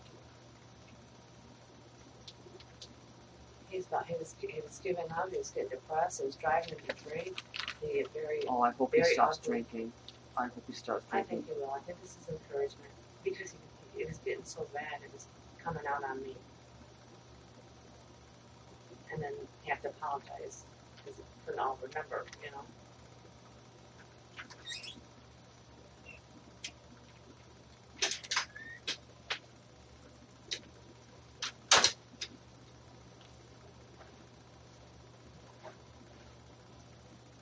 And I've, s- I've still got a lot of stuff that I haven't put into that. And, and I haven't figured out if I've got them in the, Okay. in the right order. Because he And wanted someone to be able to take a look at his, mo- to see if he's in the, on the right track. and this is one of the reasons why I suggested filing the motion for contempt immediately because if you file the motion for contempt immediately, you can use that reference in this. Yeah, Okay. yeah, file them in the proper order with something File them else. in the proper order. Okay. So what, that's the first one you think I need to do is, uh, because that uh, was the for contempt. precipitating event. That was the first event. If had he paid you the thousand dollars, none of this would have happened. It wouldn't have. and No. he That's didn't right. say that. and it would Had he yeah, paid me the thousand dollars, this case would not exist. He yeah, contempted the court order by giving me an IOU instead of a thousand dollars, and then he used self-help and the local police without a court-issued writ of possession and removed me from my home five days before he was legally allowed to do so. Actually, you had more than five days. Let's see. The writ of possession would have issued on the fifth, and he would have had you. He would have had to have had you served by oh, sheriff. Look at that. And so, let me finish. So on the fifth, he could have had the writ of possession in his hand. He would have had to take that writ to a sheriff. He would have had to pay the sheriff cash to have you served. The sheriff would have had to come out three different times on three different days. If you did not open the door or did not go outside and subject yourself to public scrutiny, you could have bought yourself three more days. Okay, so you would have been that, would have been the eighth, fifth, sixth, seventh. Okay, so the seventh he probably would have served you because he could have posted on your door on the seventh, the third day. But then that gives you 48 hours to leave. Okay, once you serve the writ of possession, you get two more days. So you could have gotten yourself until until the ninth legally if he had not exercised self-help. Legally, uh, you could have stayed there until the ninth. so, And he is responsible for all the injuries that he caused, at least from the 30th until the 9th. That's why I'm saying that civil suit. I'm, I'm And the mental, police department knows everything, it. everything. how, how, The how, police do you department charge them? knows it. How do you, how do you charge? So you, you charge the hotel nights that you had to stay in the hotel. That's a civil suit Right. that you have to file against him. Okay, Okay, so it's When a we go completely after the different- money for him, It's a him, we, completely different situation. but That's when we go completely after the separate. money, okay, it's it's a the civil. civil. Okay, Now, but the police department is different, okay? The first thing I would do is I would file an official internal complaint against every officer involved, okay? And walk that path with them. Let them deny your claim or do whatever they're gonna do. If they deny your claim, then you file an official notice of claim against the police department with the, the police department citing these are the facts, this is the evidence, this is the law, this is the procedure. You guys are liable for these damages. You This is what? my notice of claim. Now, if they reject that, which they probably will, then you sue the motherfuckers in federal court for civil rights violations. But you have to go through the administrative procedure. If you don't, the court will kick it back. And they might dismiss it with prejudice. I need to tell her about Bill. Yeah, right. Oh, wow. Bill, And the reason I brought that up regarding this is because when you said the judgment had been vacated, it really hadn't been vacated. He contempted it. It was still an act of judgment that he violated. okay. Okay? Well, good. Then what I'll do is I'll I'll work on this some more now that I have a now that I know somebody can look at it, will look at it for me. I gave up. I Don't give gave up. up. I gave up about what probably about two, almost two weeks ago. I just was like, you know what? I'm not doing this no more. They're not doing this to me. I'll just go in there and tell the judge do whatever you want. You know, and then I thought about that and kicked myself in the head for it. well, I really appreciate that you called today because I'm I'm having a transition myself and I'm trying to find a way to feel productive and useful and I love my Maine justice league and I love working it, but I've been feeling discouraged myself with my own legal issues. So if you know, just finding you and your passion and your capacity and willingness to learn, that in itself I'm happy about. I just love having people to work with on this stuff. I think, I think that if you were, I think that if, you know, we were to try to go like, you know, for in like as far as the community goes, to put it out there as like a support group for people that are affected by have have been affected by it or are being affected by it, kind of like um, mad, you know, get people that and and once you get that list together, Mm-hmm. you know, I think um, offering support because then you don't have these weasels trying to act, trying to come at you. How, how is the thing with the legal? Like, for instance, you asked about the video. Mm-hmm. I don't have a problem with it, but what I wanted to ask you about that was how do they like? Are is it touchy? Is it really touchy about what they consider you giving legal advice? Legal advice, number one, requires the exchange of money. I have to be paid for my services, which I'm not. I don't ask for money. I don't receive money. If you want to make a donation towards my supplies or whatever, great. Um, So you are allowed. I'm allowed to receive And do you donations. have- Donations. donations and I can pay for my time, you know, and my research services because that's basically what I do is I do research. Um, the legal advice aspect comes in when we take the law and apply it to your situation and then I tell you what to do. It's the me telling you what to do and me applying the law to your situation that's the caveat. Okay, that's the pivot point. That's why I made an express statement on the phone to you that I'm not an attorney and I won't tell you what to do. That everything you choose to do will be your choice. What I'll help you do is research the law. We'll discuss your situation. We'll talk about your options. We'll talk about what the law says. And if we have any questions, we'll open up the book. That's what I do for everybody. Because I want you need to be empowered. I can't be in there and do it for you. Even if I had the legal right to, I can't speak on your behalf. Only you know the facts. So you're not Only you incriminating. You're not incriminating yourself in any in any way. Oh well, then fine. I don't have any problem with it in that. Mm-mm, nope, not at all. Um, you may want to keep my identity under your hat simply so that you have a fair chance of winning any case that you may have right now. How how aware Fair. and, and, and no how aware and, and, and, and informed are so like and how how much do you think people keep up with you? Like for instance, if you did post something, I you have think- attorneys following my Facebook. I So have, maybe we should, we should should we wait till after all this is over to put that on? well, I mean, in other words, w- if you did that, would it be if you put something out there and they saw it, would it, you know, what are the chances of them seeing it, and what is what's the chances of it mattering? To our, our cases. I won't put your names out there myself, um, because I'll protect your identity because I don't want to spoil it for you. But I'm very vocal. You know how Twitter works, right? No. Oh, you don't know how Twitter works? Well, on Twitter, it's 140 characters or less. Okay? And if you put the at sign, you know, at dot com, whatever, if you put the at sign and somebody's Twitter name, it actually gives them a notification that you tagged them in your tweet, in your statement. Maine judicial branch, the Maine court system has their own Twitter account. I tag them all the time when I'm talking about judicial corruption. I talk about the court, the, the Maine judges being totally fucking corrupt How does in a that public forum. But I do it to protect myself.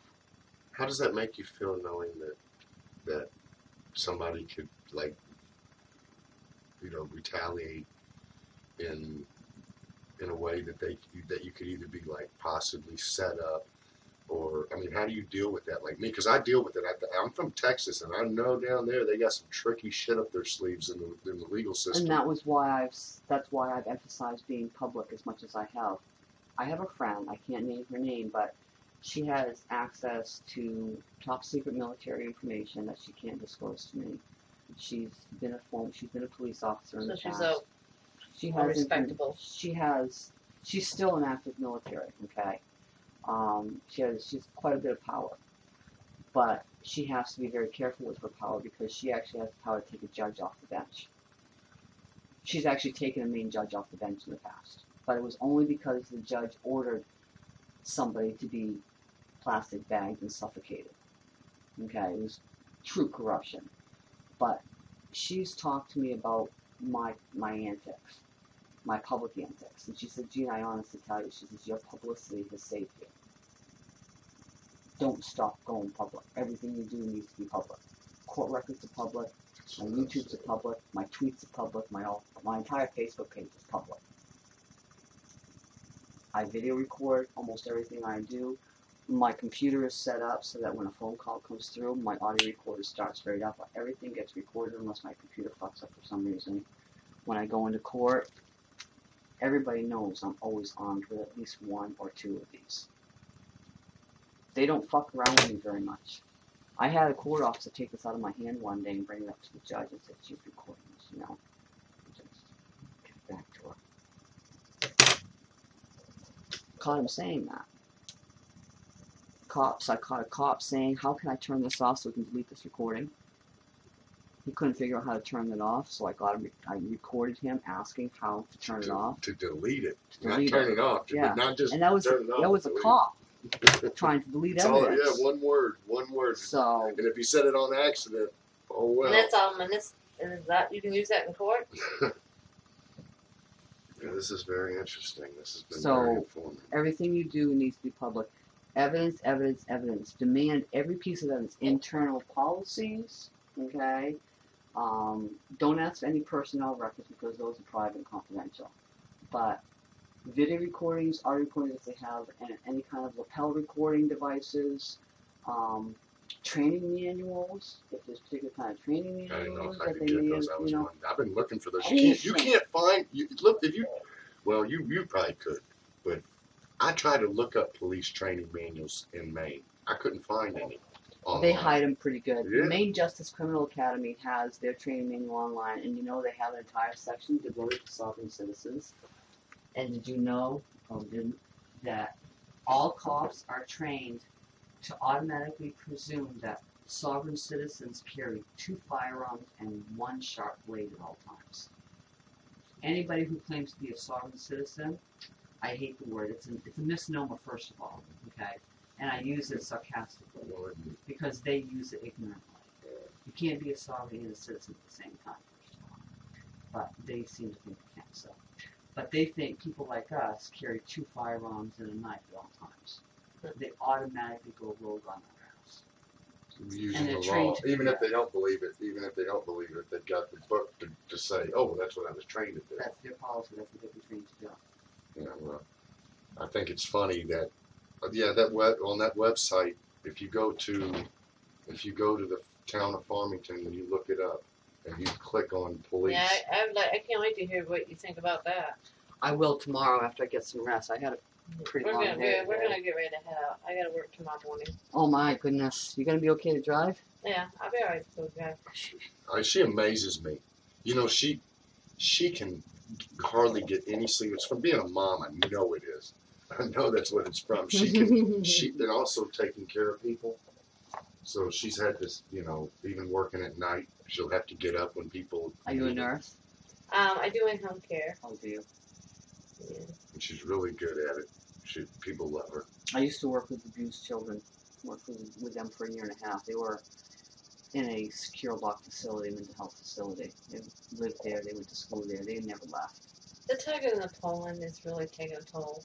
I mean, my neck, She takes It's care of the already elderly. out, Yeah, and- elderly. you know, it slips out because of degenerative disc disease, and you know, and I have shoulders issues, and I do have a client that um, it, it either he'd either be the Hoyer. I try to keep him so he'll s- tries to stand hmm to try to keep some, but it's been really difficult lately, and I don't know. You need a I've, I've been using the. He wants to do something, you know, with his teeth. So I said, well, if you want to do that, you got to be strong. Got to do your exercises. But I have to help him sit up in bed, and then I have to help bring him his legs around in bed, and then why I've got him in this situation, why he's hanging on to a, a bar, trying to hold himself up, I'm putting a gait belt on, Mm. and then I got to finish bringing him around. I mean, that's not after doing all the bed changing and all you got to do to to get him Maneuvering. prepared to ready to even get up, put all the legs back on, prosthetics and braces, and you know you got to bring him around. And he's putting all his weight on you. You're supposed to be supporting his weight. Well, hopefully, you know the the object is you know the push, push, push. I tell him push, push, push, push, push.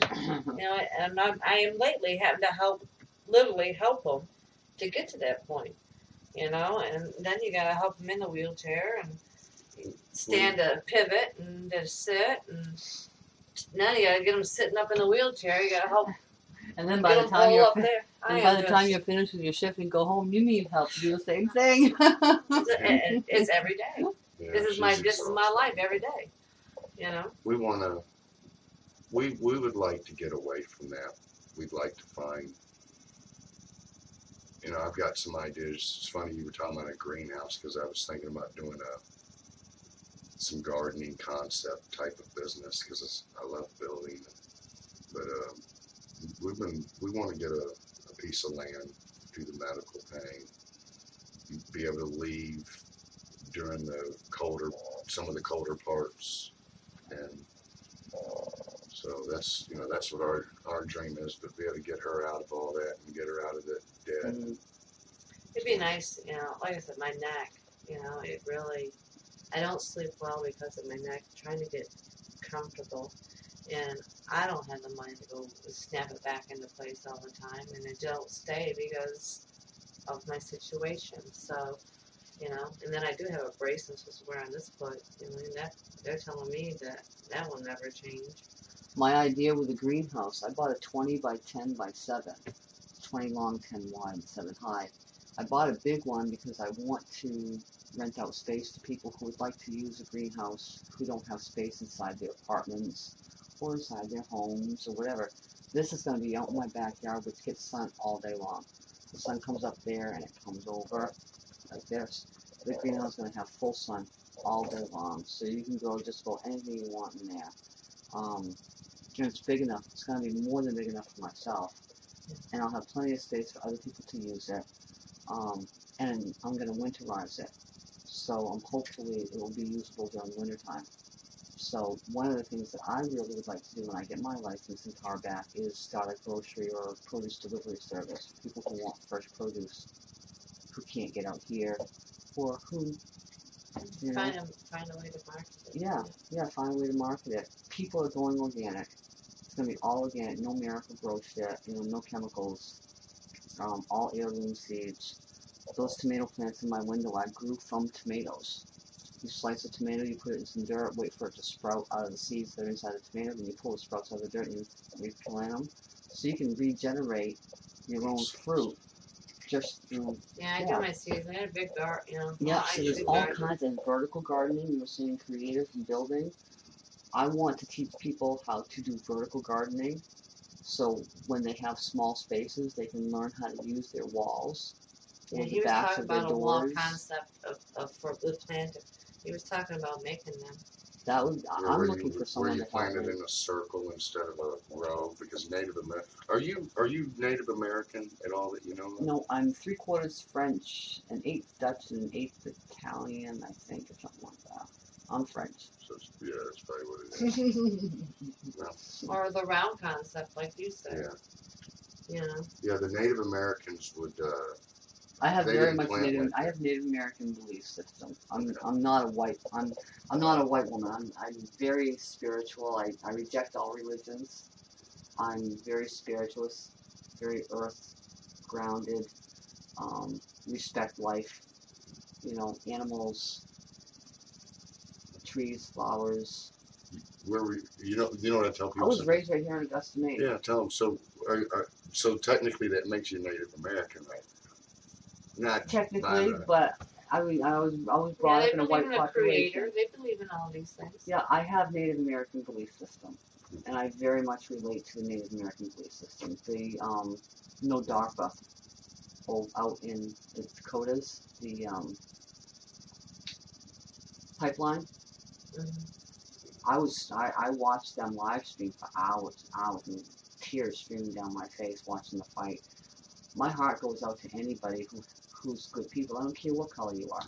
Never send I don't care us. where you're Yeah. from. They gave them Yeah. the right I don't and care they're what taking kind it of back. clothes you wear. You know, if you're good people, you're good people. I don't care what kind of clothes you wear or what color you are. Well, do all this. right. It would be nice. well, I got CMP to pay me three thousand dollars. Now, just remember, when they give you a contract, you don't have to agree to the way that it's written. You have a right to change anything in it before you sign it. I'm gonna, we're, we're gonna get paid for this So- because this is this is wrong. That was so much fun. Oh man, that was so much goddamn fun. They Just sent me this con- the- they sent me this freaking contract for me to sign off on. They were just waiting, waiting for me to sign this contract so they could send me my money and be done with me, right? Well, I just nah. But, I tweaked this sentence and I tweaked this sentence and I tweaked that word and I tweaked that word. I printed it off, I signed it, I sent it to them. They never even bothered to Never read it. Proofread. Never bothered to read it. They signed it, sent me my check, and I said, thank you very much, and I filed my well, I, lawsuit I against them. think you know what they've done and the civil rights that were broken and everything, and the mental stress that they put us through. I mean, my God, you know, homeless, the whole nine yards. Yeah. There's some cases that show some. Yeah, I saw a few. Now, the human rights, the human rights issue, when I was referring to Maine Human Rights Commission, when you go out and look at their website and, and the Fair Housing Act, the law requires you to file a, a human rights complaint within 300 days after the last violation occurred, okay? So if the last violation was September 30th, the day that he self-helped you, then you have 300 days from September 30th to file a fair housing complaint against him. So we gotta get that. You have to get, you have to start reading the Fair Housing Act, reading the Maine Human Rights Commission about fair housing laws. And what will this do? this will just, um, Bring to attention. what's bring it, it, it will, it will complicate him in another legal battle. It will cost him money. It won't cost you a penny. Okay? Just time and just time and a little bit of effort, okay? Um, but mainly it will just cost him money and it will embarrass him because if you're lucky enough to have a good enough case and be able to articulate it well enough so that they, so that the Maine Human Rights Commission agrees, if you get a favorable judgment by the Human Rights Commission, that will be made public, and his his boo boo, his bad bad will be publicized. In the newspaper and stuff? or- Yes. Yeah, Yes, in the newspaper. That's what we're looking for. Yeah. On top of That's what having we to really- pay you for the violation. oh yeah. almost. On top of giving you a right to sue letter, which will give you a foundation to file a civil rights lawsuit against it. Okay, so the human rights complaint, if you got a favorable judgment, there's, So there's it's another there's another way. Evidence and well written is what you're telling me. and Evidence and comply with the law. and Okay, So- with the law. and that's why I wrote. That's why I printed these off because the law is every single word, every single punctuation mark, Verbatim. everything, or and if but, they Write it. all have significance. Okay, and is different than or, if is different than but, shall is different than may. Shall is mandatory, may is optional. See the difference? And it says it shall pay. That's right. he had no option. Shall pay. And that's what I, I remember. I was arguing that at the time. time. Shall pay. Shall. No And- option. And, and shall, Mandatory. shall what? Shall pay. Shall. Pay. Mandatory. No option. so you need to. We need to Well, work I on already that. know that there's. You know what? I already know that there's what 600 coming out of it. So, you know, No, there's gonna be a lot more than that. well, it's not about the money to me. It's about the people that will hear about it and say, "Well, if, he, if that up. dumbass can do it, I know I can do it." Because that's why I did it, and it's sad that everybody was there. There was so ignorant, and they're on. And in the phone calls, the t- the two nine one one calls you hear, they both say, "Oh, he was being evicted." Mm. And that's humiliating to think that those people think that after everything that I told some people about their rights there, that that they actually believed that, that that I was like legally being evicted and he had a right to. It's crazy. And for the local police to engage in any kind of eviction was blatantly in violation of their internal policies because they have no jurisdiction. They have no jurisdiction in evictions.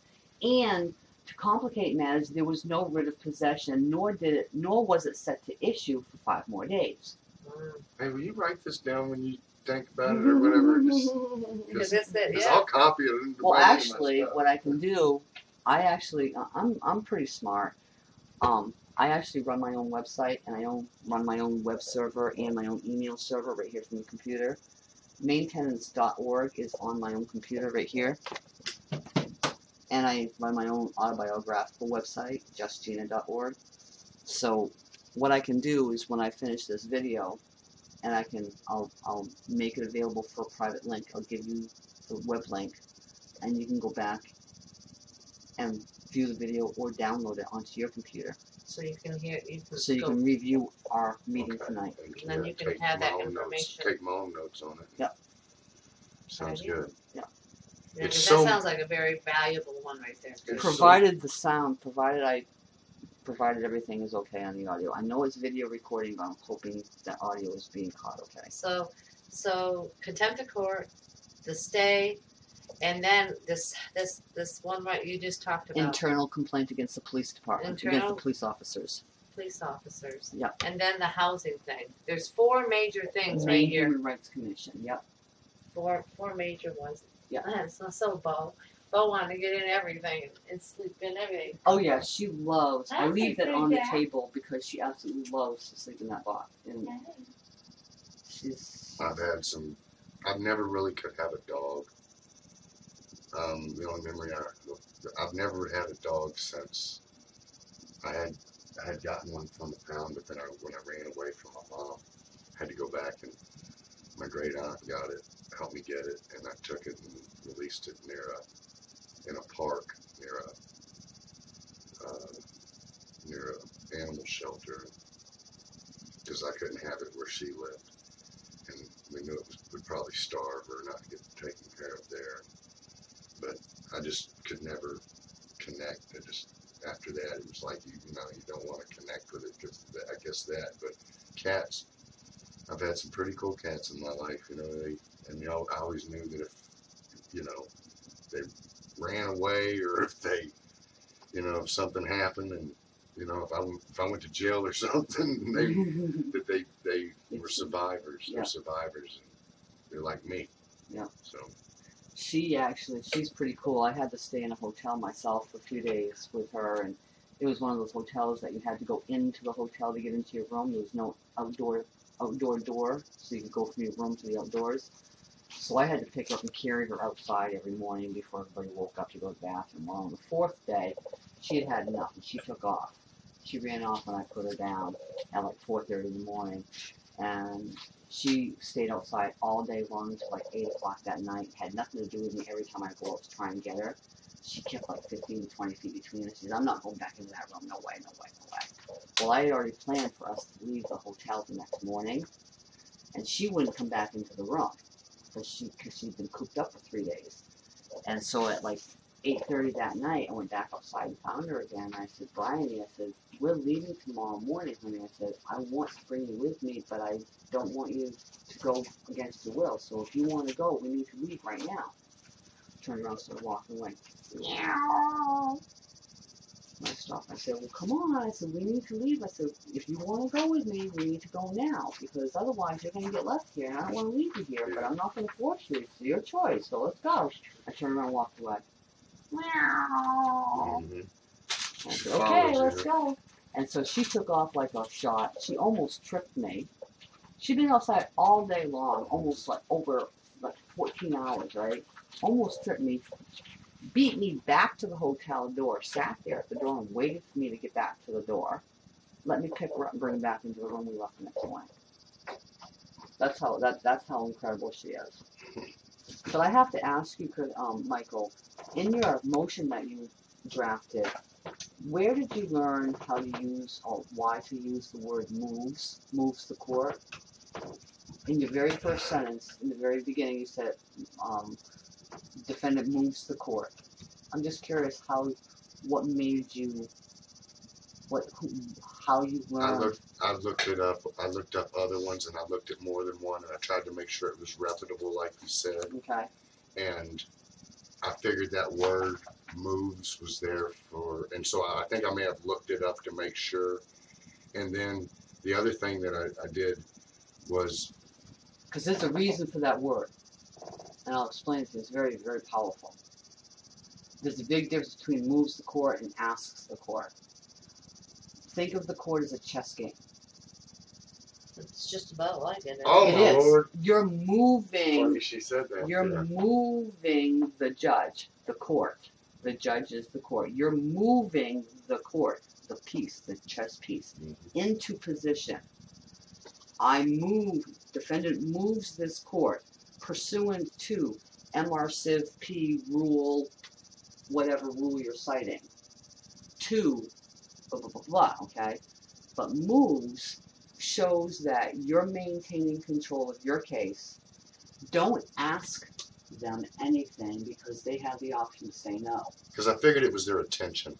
That's how I looked at it. I figured, okay, if I'm asking them or They're just a referee, asking them to look at, The- I was very careful that I had it worded in the right way, the best I possibly. always could. use the word moves when you're writing a motion Okay. Because the judge is just a referee. The controlling people are you and the landlord, okay? And because I, I didn't know exactly how to make sure I was doing it, there's one more thing before we take off that I want to. What did I do with that?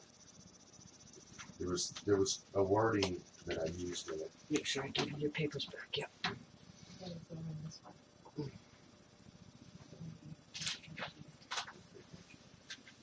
The other thing that I put in it was the defendant moves this court for the entry of its because I knew it was an opening line. I had a really good English teacher, but she Mhm. said, and I liked the way it was written, and it says this court for entry of its order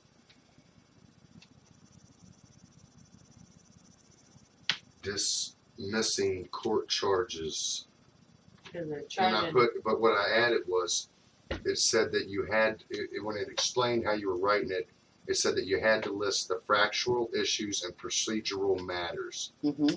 And so I made sure that I, I, because I didn't know, well, how do I do that? So I said, well, I'll just say that I'm entering it, you know, charging the criminal trespassing for the following procedural matters because I looked at that, looked it up, Mm-hmm. and realized, okay, this is, those are the fractural issues. They're in the criminal trespass and the disorder. The other, one more question I have before we take off Mm-hmm. is when I go to court, because this is what the judge told me. He told me two things. I'll take any of your motions at any time during trial. That's one of the promises he made, and he told me that uh, that he told me that the, the Is that true?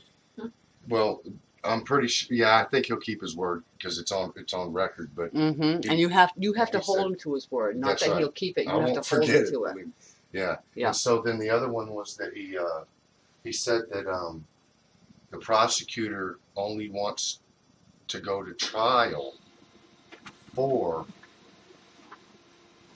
disorderly conduct. So my big question has been this whole time is when I get to court and I'm filing these motions for disorderly conduct stuff, are they going to go, oh well now you're on trial for both, and then am I defending myself for something that I didn't prepare for, or did I over prepare because it's not even going to, because they're not even Well, going to do it. didn't, didn't they say they were gonna drop it, and didn't the paper come back in the, in the But mail they can it, change it? that. They can change that. That at any time. At any time, they can say. From what I understand, at any time they can go back and say that they want to charge me with it. You already have you already have an ace in the hole, and and you, we just brought that to light just a few minutes ago. If they push forward on either one of these criminal charges, you have a right to enter facts and evidence to your innocence, which includes calling your last landlord as a witness and the other people as witnesses to testify about the incidents happening just immediately prior to the alleged disorderly conduct complaint, okay? So you have the right to confront your accuser, which is the state, but the state is prosecuting you on behalf of the police officer who was involved in the self help eviction, who you're going to file a complaint against next week, right? Yeah. So when you file a complaint against the officer for assisting in a self help eviction, which was illegal to begin with all through it because there was no writ of possession issued, and because he was a local officer and not a sheriff, just that alone will probably get those charges dismissed. Cause yeah, cause he's that. Cause So he- that's what he's, he's- that's what we've been saying. Uh, uh, With all this evidence, how can it go forward? he's trying to pretend like he didn't understand. This is a that- copy of my that- motion to vacate, just for a sample of what I submitted to the court. Okay. So should I? So in Maine, is that the word they use, vacate rather than dismiss? Um, no, there's two different. Vacate is for a judgment that's already been entered. Dismiss is for Okay. charges that have not yet been, or have not Been- just been been- finalized. Yeah, vacate is different than dismiss. But that's just a template just to show you the Yeah. format that I use and to give you some verbiage and give you an idea of how I format my documents. We documents. got your weekend planned out, that's for sure. But yeah, you we got. want, we want to go. We want to have that ready for the first of the week. We want to go right over and do get that stuff. Yeah, really If I was- major things we need Especially to if spin I'm going to ask for an extension, or or do or do you think I can get this done and get it in? Well, we filed it against John Bouvier. Order. She You said know, you know what? Let's take the take the break for tonight. hold on just a second. The, the very first thing that I would do is the most important thing for you guys is to, or for him, or for actually both of you, you each need to write an affidavit, okay? Basically, a timeline of events. Um, I don't know how long. How long did you live in that trailer? about a year. About a year, okay. Over D- here. decide what point you want to start your timeline. Okay, you don't have to go back the entire year, but choose a significant point, maybe in the the, middle. letter, In, Or even before that, how, how about where we he when you started about- complaining about the first letter. When you yeah, started the complaining- verbal Verbally. complaint when you started complaining about unsafe conditions. Okay, which forced you to write him a letter. Start there. to write a research. yeah. timeline of events okay write as, as complete a timeline of events as you Okay. can each one of you based on your own individual perceptions okay don't commingle your your timelines okay they want they need to be separate because you each want to write an affidavit of facts based on your individual knowledge experience because those affidavits are going to build the foundation of your motions and your complaints, okay? Because that's where the facts are. Is that affidavit is where all the facts are, and you're going to use that to send along with the motions, the complaint to the city, any kind of complaint to Human Rights Commission, okay? Any kind of motion for, I mean, it's going to be a foundational document, all right? But our But it's dates, also going to have all the facts that you need someone to know about. but our dates and all that will be all the same. 'cause it's- That's okay, but it's, it's your personal, Right. it's your personal. Even though it almost replicates that. That's okay. it, you know, it happened to both of us. It has to come time. from your. It has to. come Don't say, John, uh, not John, but Michael did this. Only talk about what you did and what you saw him do. If you want to talk about what he did, say I saw him or I heard him. Okay. The affidavit has to be about what you saw, what you know, what you experienced, and what you witnessed, or what you spoke, or Trip down I mean- lane, huh? or Yeah, what well, somebody I- said to you or did to you. What I'm what I'm probably gonna do tomorrow is try to get some things in order so that I can start doing this. And I may I may uh, try to contact you tomorrow to just get a, a go over and make sure I have a list of everything that that immediately needs to happen. And even if, it, if it's only The four or Order, five bring in that contempt order Well, I'll against look him, over it, but I, I'll probably Stay. I'll probably you know the double housing, check. 'Cause it was a lot to soak in all in And- one uh, in one evening. the police. They're the four things: the housing thing, the intro of the police thing, and um, the, the um, contempt of court for, for You can get the criminal, the April 18th date. That can be really easily, I, I think you might be able to get that easily um, rescheduled by sending in a quick request for um, extension of time and say, I just um, hired legal counsel, um, you know, with the clerk. Yeah. Give me 30 days to allow counsel to Right, and then familiarize put the themselves. stay in. Yeah, gives you Yes. 30 days to take a breath and figure out what to do. Because all these other things will affect that. Because that was the end result of the self help eviction. So the first thing is gonna be Okay? Just Because go set a motion into for more time. right, send it motion for more time on the criminal and then do your motion for contempt and then start back with the landlord. Okay? Because that's gonna be you can take that with you if you do returnables. I don't do returnables. Okay. if you want to rinse that out, that's fine. Um, but yeah, there's a sequence which is really Slightly important better, because that's one good, will yeah. springboard off another. Okay. Put a motion in for Well, I may request need for to- more time. Yep. I wrote down a lot of stuff. I may need to double check tomorrow. S- Give me your give me your email Yeah. And I can even send you. By chance, that's what I asked. No, it doesn't. Oh, you're so beautiful. Oh, you're such a beautiful. So beautiful.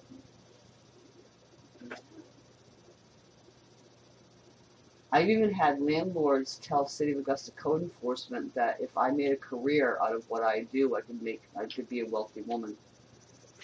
And I asked code enforcement what he meant. He said probably telling tenants, giving tenants help that you give them. Yeah. Yeah, well, that gets Well- me into legal trouble. Well, the question is though, no, because the, well, I don't know. You could tell me, but it doesn't sound like it because I do see a way that you could.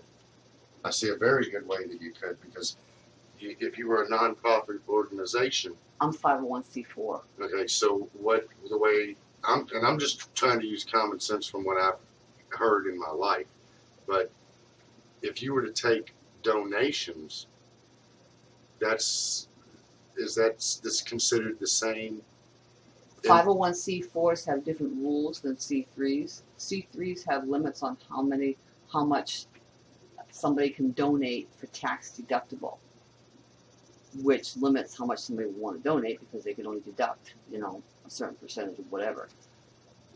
But that means that a 501c3 cannot engage in any kind of political action. I'm not a C3, I'm a C4 because I'm a civic league. C4s, donors don't have any limit on what they can donate because they can't deduct any donations on their taxes. So, so donors can donate as much as they want to because there's no tax deduction to a C4. But I can engage in as much political action as I want to. That's the trade-off. You want politics or do you want money? And you get Michael in law. You know, and C, and C3s, C3 donations really only come from people that want the, the, the credit. They really don't want to donate to you, they just want a credit. True donors will donate to a worthy cause whether or not they get a tax credit. You know. Yeah. I mean if you really We think just about need it. Yeah, to find that's someone that wants to make some good donations. Yeah, I know. Well, And Get it out there. The, get um, it out there. Michael's been Well, talking but about how all this, so that, I, this is really cool. How long have you been doing this now? You say, how long has this been set up? four years in June. Okay, I thought that was what it was. Do you know that from my experience in business, most companies, they don't, they don't get off the ground for ab- until about four years. So you s- Goodbye. stick it. The fact that you've stuck it out this long. it No, will- you I've know made us. quite a name for myself. Like I said, use my name or Maine Tenants Justice League's name at your own risk. Well, so are you you will allowed? certainly see eyebrows raised. Are you allowed to use? Are you allowed? So you are you? Is your organization allowed to take donations? Yes. Okay. Well, you know what? We get through this and something happens. Believe me, I will be You can spread sure. the word. Just spread the Yeah, word. To, I Well, will. I know I'll, I'll be sure better. that if, if I if there's any financial gain in this, because it like you said, mon, you know, law the polit the the law power o- o- before the money. Yeah. You're right. And but and if that's there's very anything that important in this believe fight because I can say that if you put money before the law, you're going to be very, very discouraged very, very quickly because they're not going to want to give up any money. So your fight has to be focused on the law and justice with money, a little bit of reward if you get it, okay? But the true reward is costing those landlords all that angst and all that money that they thought they could wiggle out of because he had power. And these police officers did what they did, thinking they can do what they did Oh, because they were doing it for But somebody they're- who had power. I paid. But you have 400 rights. I paid four hundred dollars a month for for a year. It's twelve. That's about four thousand eight hundred dollars. And you had to pay for your own fuel, right? Yeah. Mm-hmm. Okay. Now, So probably That's- seven hundred. so there's probably about five thousand dollars altogether there. that I think. I can't. I have a feeling that he's going to pay a lot more than what he got out of that trailer for this. For, you Yeah, know, I, I'm out not. I'm not backing just down. This is this is wrong, and you know what? I'm not all about the money. I like the fact that it's gonna all this legal stuff is gonna cost because he did wrong. He did so wrong that day. What he did. Oh my god. You can, you can, if he has a Mills attorney, he's paying at least two hundred and fifty dollars an hour Mhm. for that man to do any work for him. That includes picking up the phone, Mhm. picking up a pencil, putting his fingers to a keyboard. Everything he does will be billed at two hundred fifty dollars an hour, and that's for, that's for out of court. that's for outside of court work. If he has to go into a courtroom, he gets charged. The landlord has to pay an appearance fee on top of a heightened hourly fee. The, the, the, the attorney probably will get about four hundred dollars an hour to appear in court. So if you get him in court for a trial, keep that attorney there for six to eight hours. I like us now, John Bouvier. Mhm. Oh yeah, yeah, more hurts. That's the only thing Check. you care about. You know what? He's a, he's a That's one. all He, he likes to play chess. So That's once we what I- win, Oh, once we hey, win hey, all hey. this, That's check it out. That's what I told him when he came over doing that paper and everything. And I said, and he, I said, you're going to do exactly what you're supposed to do because you have the warranty of habitability. I said, I said, and he had invited me to come over and play chess. He probably wanted to fill me out, but this was before this when I was just when we were still all right. But he's he um and he had every Tuesday night he has a thing where they get together and play chess. Right? That's how he play, that's how big he is on it. And so that moves. When you told me that and you were saying it was like chess, I looked at her Yeah, because because when he came over there, I told him you. So you're gonna go over there and play chess tonight, John? I said you're gonna go over there and play chess with your your buddies. I said, well, you know why I don't go over there? Because this is my chessboard, you know. So so king king me. The fact that he's a chess player, okay, is a clue. He's a good strategist, Mm-hmm. okay? That's why he was a, that's why he was a councilman. He's a good strategist, all right? But rules of procedure, Mhm. that's his strategy. That's where his strategy lives and dies. And that's where he will foil his strategy, okay, with his own rules. That's the, that's their rules. That's their Bible. Everything, every case lives and dies by those rules. Can we give you a hug before you, we leave? John, John, Thank you. Thank you so much. check, Thank you for what you're You're doing. welcome. John, check and checkmate. I Yeah. can't wait, I That's can't all I wait for wanna him tell to him, tell him that. It's gonna be I, I fun. want to tell him, hey John, do you know what that is? Check and mate. It's gonna be fun. Well, I told him I, when I told him that when I said this, I said, you know why I don't go over there and play? I said because the world is this is my this is my chessboard. So king me, and I and I said it instead of saying like you know Check. check. I said king me because to me I said because this is checkers. This is just checkers to me. Mhm. Hit that one on the far left. Yeah. Feels like- Oh, well, guess what? Good news, it's still raining. I'm, I'm, I'm, Only until a little bit while. It's supposed to clear No, it up. might not, it might not be raining, it might be just dripping off the thing. I thank you very much. I'm, I'm probably going to sleep very good tonight. I hope so. restful finally. I hope so. I'm glad you guys called. Yeah, bless you. You take good care. Please drive carefully, carefully, and watch out for band-aids. We saw four of them cross the road today.